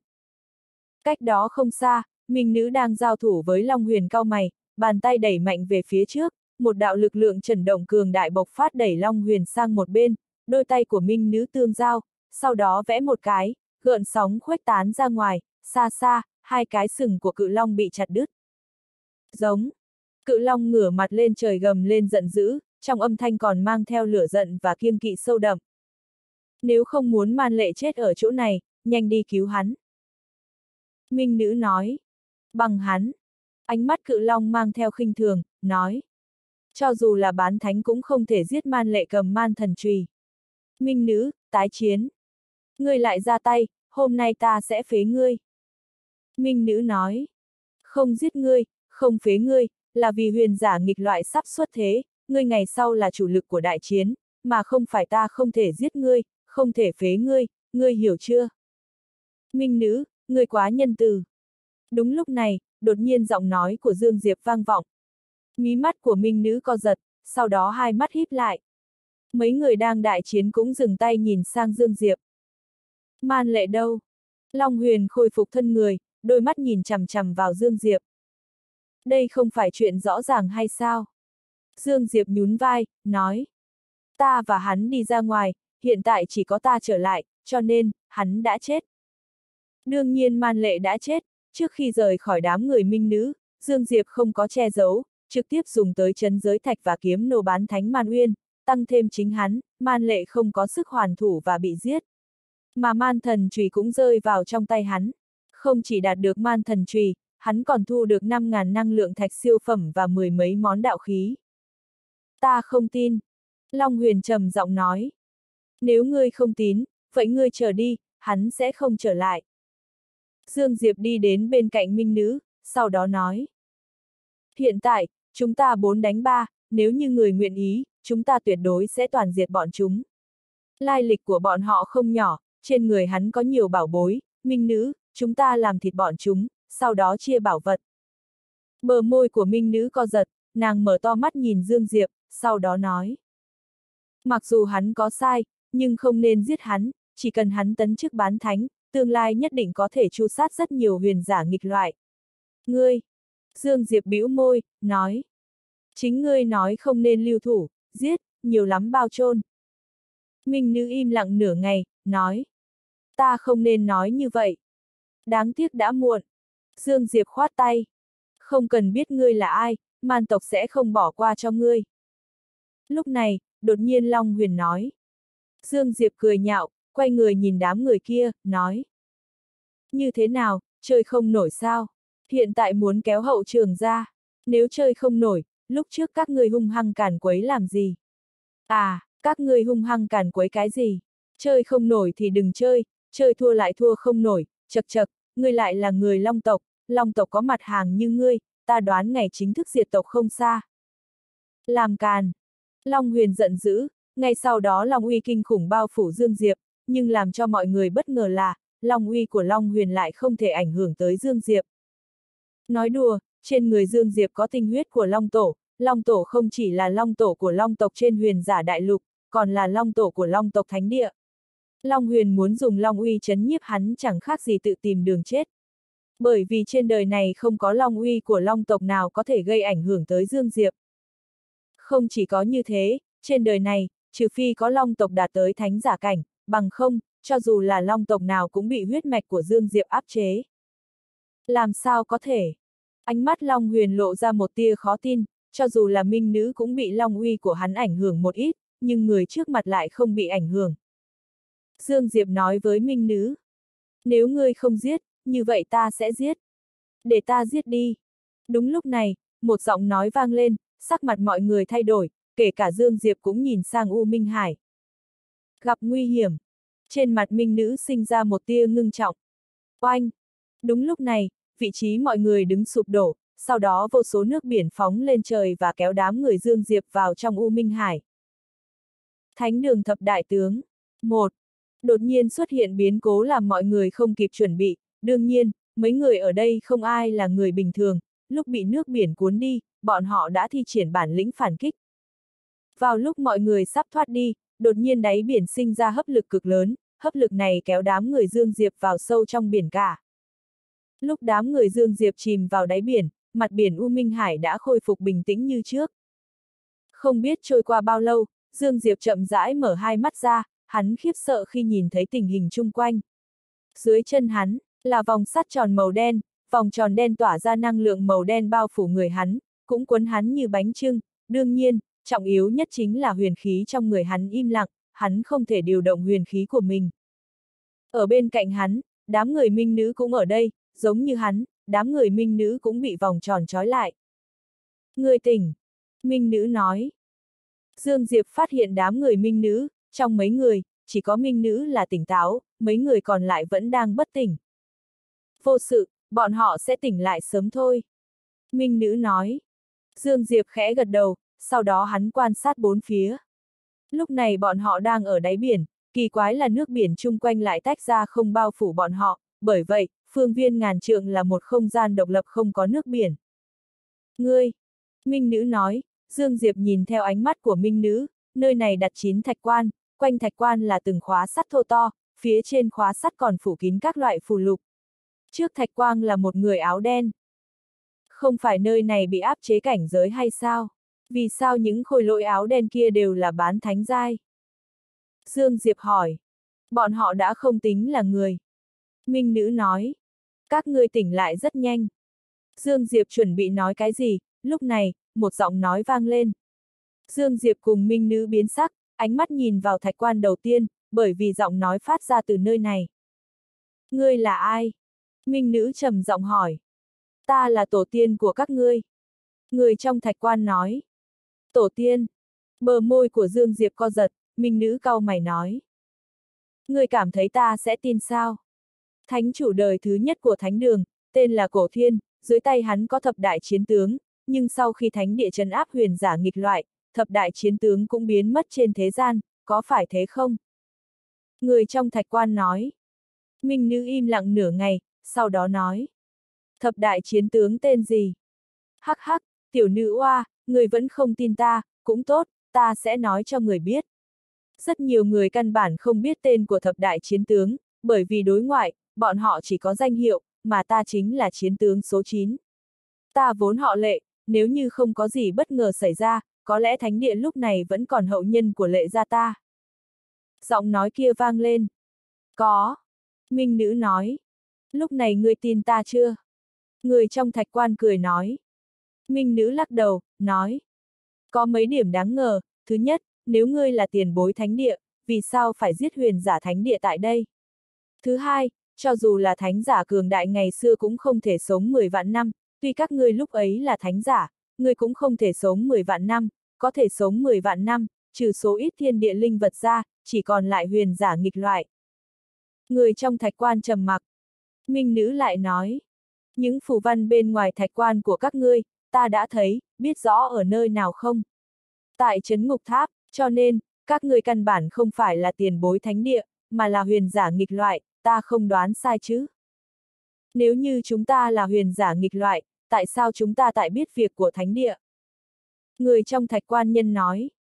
Minh nữ nói. Đây chính là điểm ta khó hiểu. Đều tỉnh chưa? Lúc này, người trong thạch quan nói. Dương Diệp quay đầu lại, không biết lúc nào, đám người vương diễm đã tỉnh.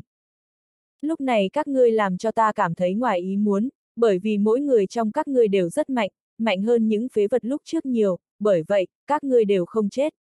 Hiện tại, các ngươi có một cơ hội sống sót, ta sẽ cho các ngươi tự do lần nữa, các ngươi cần làm chính là chặt đứt khóa sắt quanh thạch quan của ta. Người trong thạch quan nói. Đương nhiên, các ngươi cũng có thể đổi ý, nơi này có mấy khôi lỗi bán thánh, nếu các ngươi cảm giác mình có thể đối kháng chín bán thánh, các ngươi có thể thử xem. Khi người trong thạch quan dứt lời, vòng sắt dưới chân đám người Dương Diệp đã biến mất, sau khi vòng sắt biến mất, mọi người đã có thể điều động huyền khí trong cơ thể. Khóa sắt này rất chắc chắn, còn chắc chắn hơn tưởng tượng của các ngươi, cho nên, mấy người các ngươi phải hợp lực mới có cơ hội chặt đứt. Đương nhiên, cũng chỉ có chặt đứt khóa sắt này, các ngươi mới có cơ hội sống sót. Người kia nói, đừng nói giỡn. Lúc này, đột nhiên Long Huyền lạnh lùng nói. Dù cho chúng ta chặt đứt khóa sắt này, chúng ta cũng không có cơ hội sống sót, ta nói đúng không? Vèo. Lúc này, đột nhiên chín bán thánh áo đen xuất hiện chung quanh đám người Dương Diệp, cũng vậy bọn họ vào trong. Các ngươi có lựa chọn sao? Người trong thạch quan nói. Lập tức quay trở lại thánh đường, nhiệm vụ của chúng ta đã tính toán hoàn thành. Minh nữ nói xong câu này, tay phải nâng lên, sau đó một tia sáng trắng khuếch tán ra, cũng đẩy lui đám khôi lỗi bán thánh về phía sau, sau đó thân thể nàng rung động và trực tiếp hóa thành tia sáng biến mất tại chỗ. Dương Diệp và Vương Diễm cùng Thanh Minh cũng không chậm, vào lúc Minh Nữ động thủ, bọn họ đã phóng lên trời, bọn họ thi triển tốc độ cực hạn chạy đi. Muốn mở khóa sắt ra là chuyện không thể nào, bởi vì bọn họ lúc này, cho dù như thế nào cũng không có khả năng đánh thắng chín bán thánh, càng không cần nói người trong thạch quan kia. Muốn đi, các ngươi nghĩ nhiều. Khi người trong thạch quan dứt lời, một hấp lực cực lớn xuất hiện lần nữa, sau khi hấp lực này xuất hiện, tốc độ của đám người hơ dương diệp chậm lại và bị kéo trở về. Nghịch! Đột nhiên minh nữ gầm lên một tiếng, sau đó đám người dương diệp cảm giác hấp lực kéo xuống biến thành lực đẩy, trực tiếp đẩy bọn họ ra ngoài ngàn trượng, sau đó chỉ trong chớp mắt, bọn họ đã biến mất khỏi đáy biển. Nghịch chuyển âm dương. Qua một lúc, một giọng nói mang theo sợ hãi vang lên trong đáy biển. Chấm. Sau khi mọi người lao ra khỏi mặt biển, lúc rời khỏi U Minh Hải trên trăm dặm mới dừng lại. Thật là khủng khiếp. Vương Diễm lên tiếng đầu tiên. Hấp lực lúc trước thật khủng bố, nếu như không có điện hạ, chỉ sợ cho dù chúng ta có ngũ hành thần phù cũng không dùng được. Mấy người đồng ý gật đầu, cho dù là Long Huyền cũng thế. Lúc này hắn mới biết được, mình nữ trước mắt khủng bố bao nhiêu. Hấp lực lúc trước suýt nữa kéo hắn trở về, cho dù hắn khi đó khôi phục bản thể, cũng như thế. Nhưng minh nữ lại có thể thoát khỏi hấp lực, hơn nữa còn mang bọn họ ra ngoài. Từ điểm đó làm hắn biết, hắn kém minh nữ rất nhiều. Lúc này trong lòng Dương Diệp vẫn mang theo khiếp sợ, đối mặt với hấp lực lúc trước, cho dù hắn thi triển thực lực chân chính cũng không thể thoát khỏi, nhưng minh nữ lại thoát được rất nhẹ nhàng.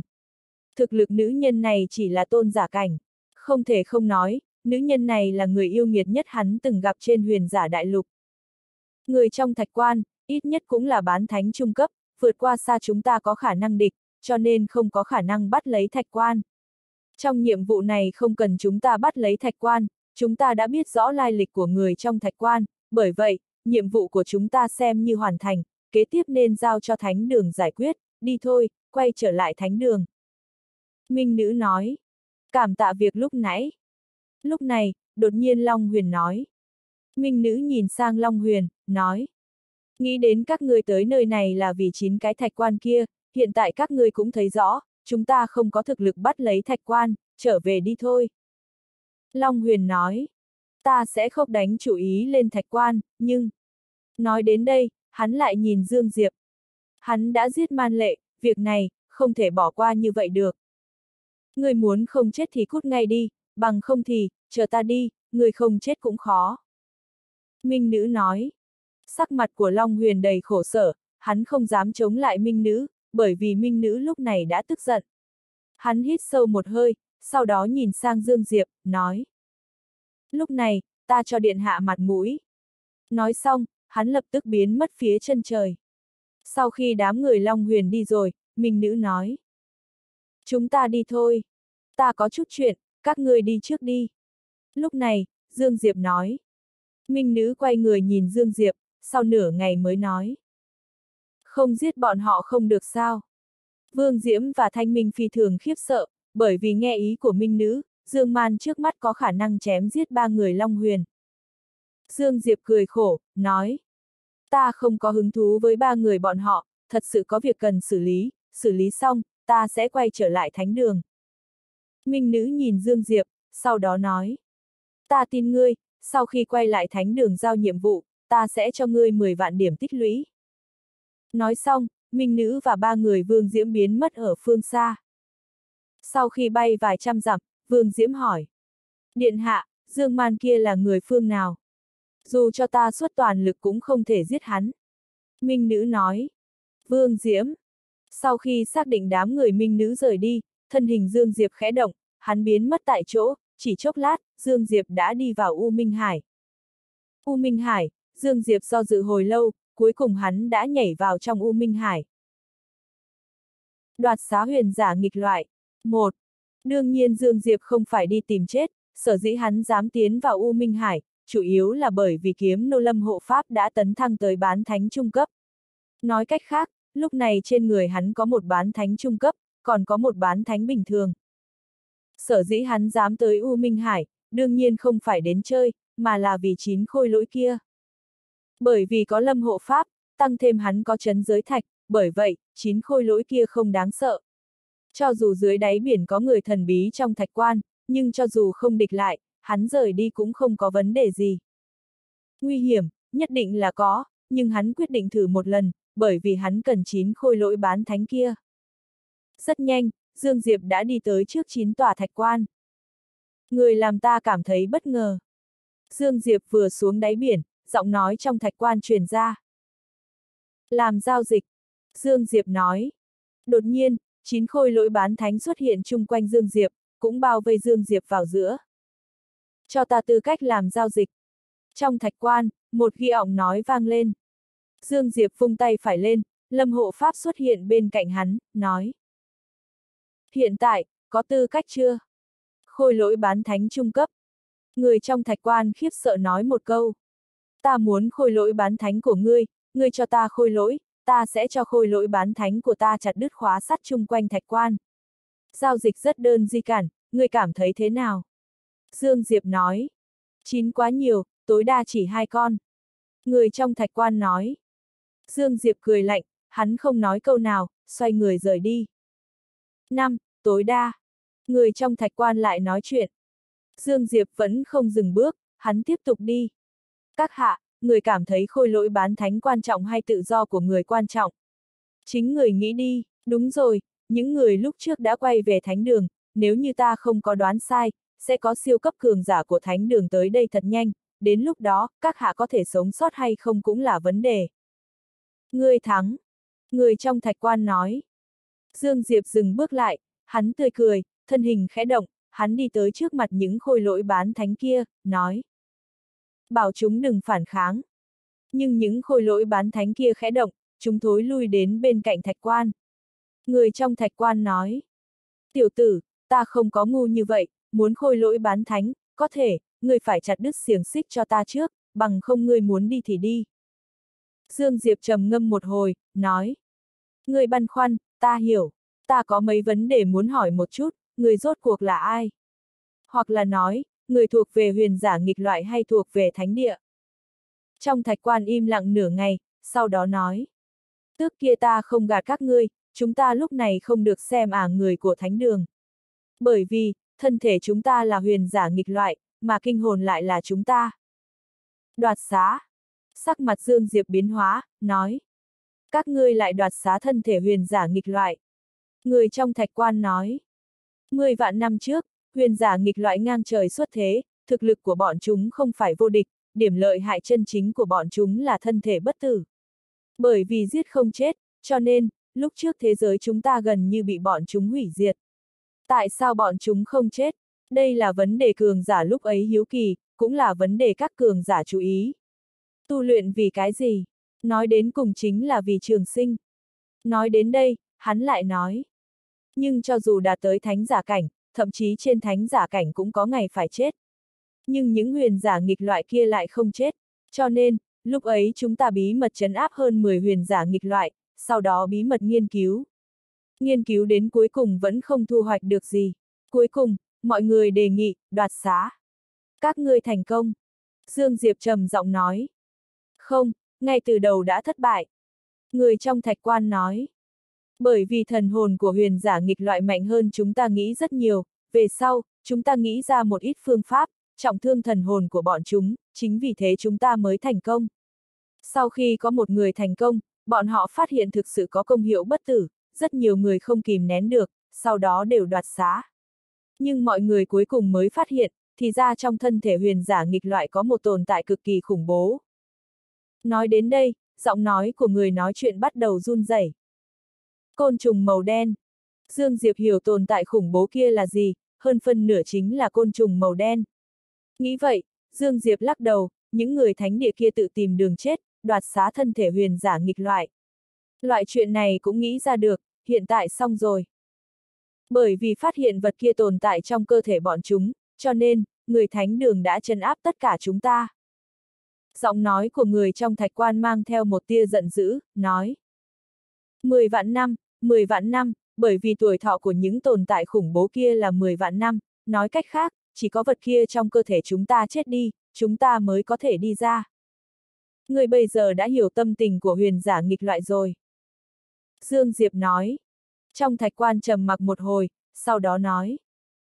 Nếu như người muốn những khôi lỗi kia, vậy thì chặt đứt xiềng xích trên thạch quan đi. Khác người trong thạch quan cũng tỉnh lại sao? Dương Diệp đột nhiên hỏi.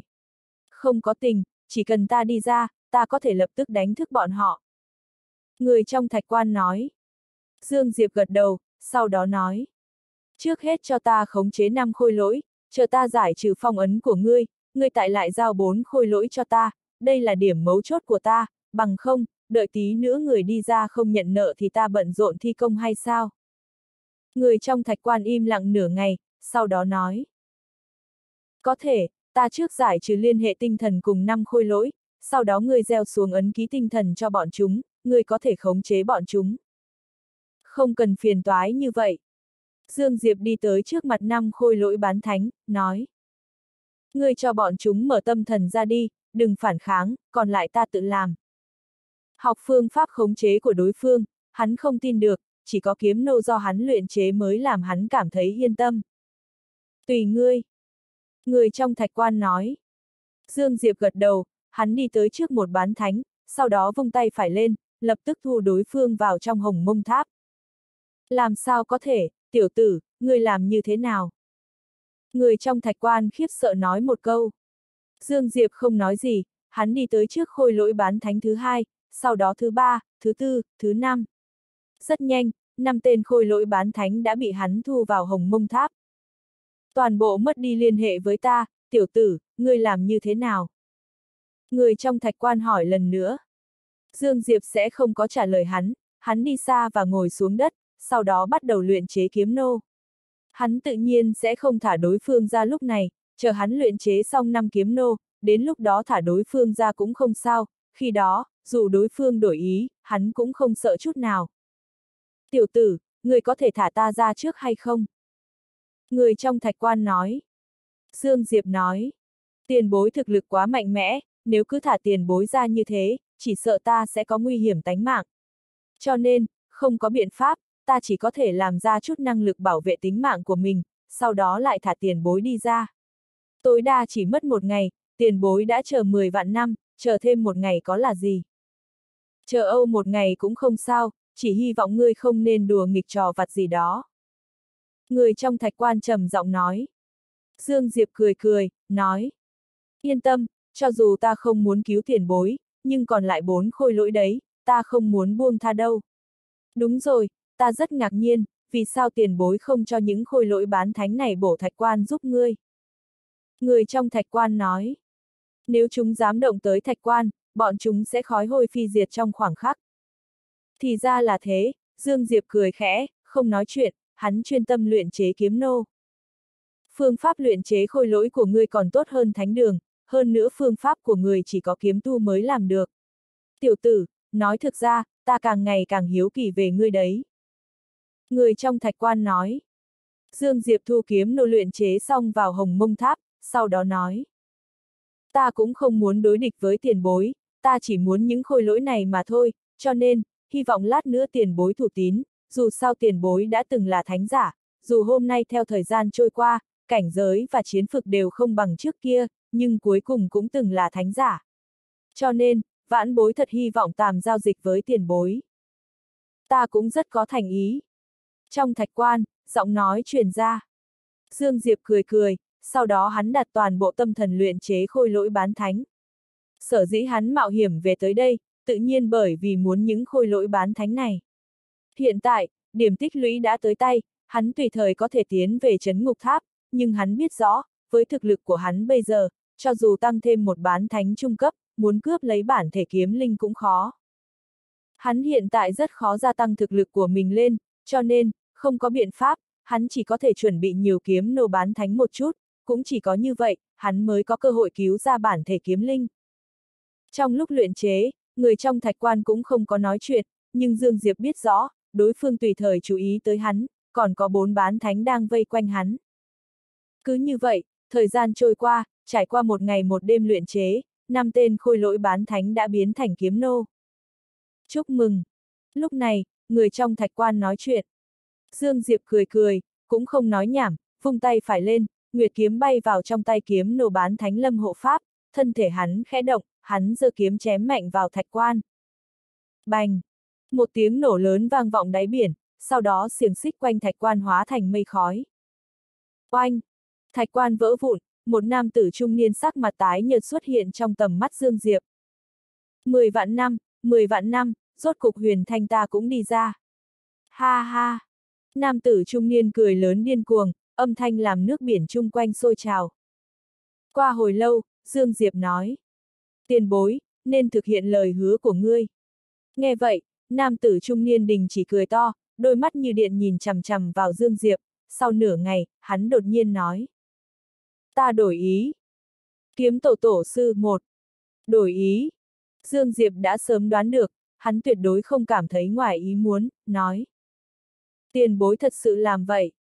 Nam tử trung niên nhìn khôi lỗi bán thánh trung cấp trước người Dương Diệp, sau đó sủi cười một tiếng, nói. Khôi lỗi cuối cùng chỉ là khôi lỗi, nó cuối cùng sẽ kém người. Cho ngươi một cơ hội, giao những khối lỗi lúc trước ra đi, còn có khôi lỗi bán thánh trung cấp của ngươi nữa, ta lưu ngươi một mạng. Bằng không ta muốn giết ngươi cũng không khó khăn gì. Cũng tốt, kỳ thật, ta vốn muốn giết người nhưng không có cớ, hiện tại thì tốt rồi. Dương Diệp vung tay phải lên, sáu gã bán thánh xuất hiện chung quanh hắn, nhìn thấy sáu gã khôi lỗi bán thánh, nam tử trung niên cười mỉa mai, nói. Chỉ bằng mấy cổ khôi lỗi này của người mà muốn giết ta. Đúng là buồn cười tới cực điểm, ngươi chỉ là hoàng giả. Nói đến đây, nam tử trung niên im lặng, ánh mắt hắn lộ ra một tia khiếp sợ, bởi vì cảnh giới của hắn đã biến thành hoàng giả cảnh cửu phẩm. Chân giới thạch, người thậm chí có chân giới thạch. Nam tử trung niên đã bối rối.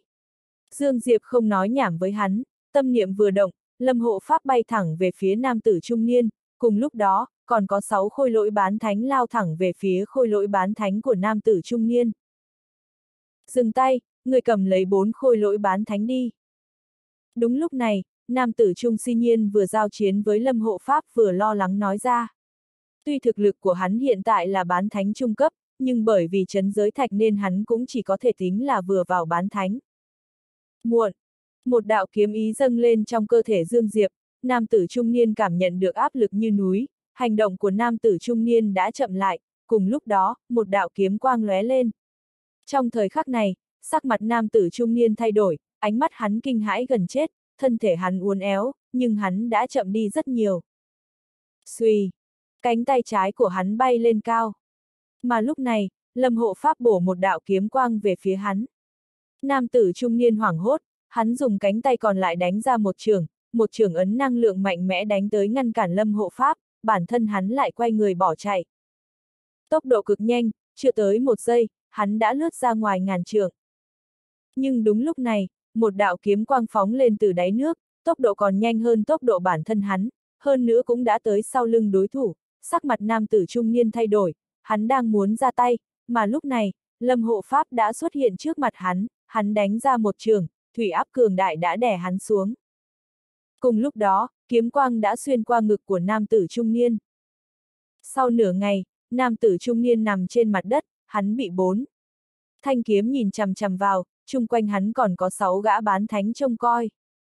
Tuổi còn nhỏ, kiếm ý thiên giai, chiến lực bản thân khủng bố như vậy, không nghĩ tới, thánh địa ta lại vẫn xuất hiện thiên tài như ngươi.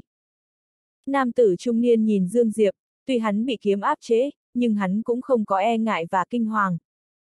Dương Diệp đi đến trước mặt nam tử trung niên, nói. Có phải ngươi cảm giác thân thể của mình bất tử nên không sợ hãi? Nam tử trung niên nói. Tiểu tử, lần này ta nhận thua, thả ta, ngươi cứ lấy những khôi lỗi kia đi. Không thả ngươi, ta vẫn có thể cầm lấy đám khôi lỗi bán thánh kia. Dương Diệp nói. Muốn tự do, có thể, xuất thành ý ra cho ta xem, bằng không ta sẽ mang ngươi về thánh địa. Hắc hắc, người bây giờ tương đương với huyền giả nghịch loại, người đoán thử xem thánh địa sẽ đối đãi với người thế nào. Ta bị khốn trụ 10 vạn năm, người cảm thấy ta có bảo vật gì? Nam tử trung niên trầm giọng nói. Không có, ta chuẩn bị mang người đi thánh địa, chắc hẳn ta mang người về sẽ nhận được rất nhiều điểm tích lũy. Dương Diệp nói. Đợi một chút. Nam tử trung niên vội vàng nói. Như thế nào? Dương Diệp nói. Nam tử trung niên trầm ngâm nửa ngày, sau đó nói. Ngươi là kiếm tu, ngươi bây giờ có kiếm ý thiên giai nhất trọng, kiếm ý thiên giai nhất trọng tuy mạnh nhưng ảnh hưởng lên cường giả bán thánh lại không lớn, có thể uy hiếp cường giả bán thánh chỉ có kiếm ý thiên giai nhị trọng. Ta có thể giúp ngươi tăng lên kiếm ý thiên giai nhị trọng. Đúng không? Gương mặt của Dương Diệp biến thành nghiêm túc, từ khi phần ý đốt đi kiếm ý, cảnh giới kiếm ý chính là việc làm hắn buồn giàu, bởi vì đúng như lời người này nói, kiếm ý thiên giai nhất trọng không tạo thành uy hiếp với cường giả bán thánh. Đối thủ của hắn hiện tại đều là cấp bậc bán thánh, bởi vậy, kiếm ý thiên giai nhất trọng không đủ dùng. Tự nhiên là thật, người phải thả ta trước. Nam tử trung niên nói. Ta có thể tin tưởng ngươi sao? Dương Diệp hỏi. Thôn vệ kiếm ý. Nam tử trung niên nói. Ngươi nên biết, kiếm ý mạnh có thể thôn vệ yếu, hiện tại ngươi chỉ cần thôn vệ rất nhiều kiếm ý, kiếm ý của ngươi sẽ tăng thêm một giai. Vào thời đại của ta, kiếm tu lĩnh ngộ kiếm ý ít tới mức đáng thương, nghĩ đến thế giới hiện tại cũng ít có người lĩnh ngộ kiếm ý, cho nên. Cho nên, người có biện pháp, hoặc là nói, người biết ở đâu có kiếm ý để thôn phệ, đúng không? Dương Diệp tươi cười. Đương nhiên. Audio điện tử võ tấn bền. Hết tập 60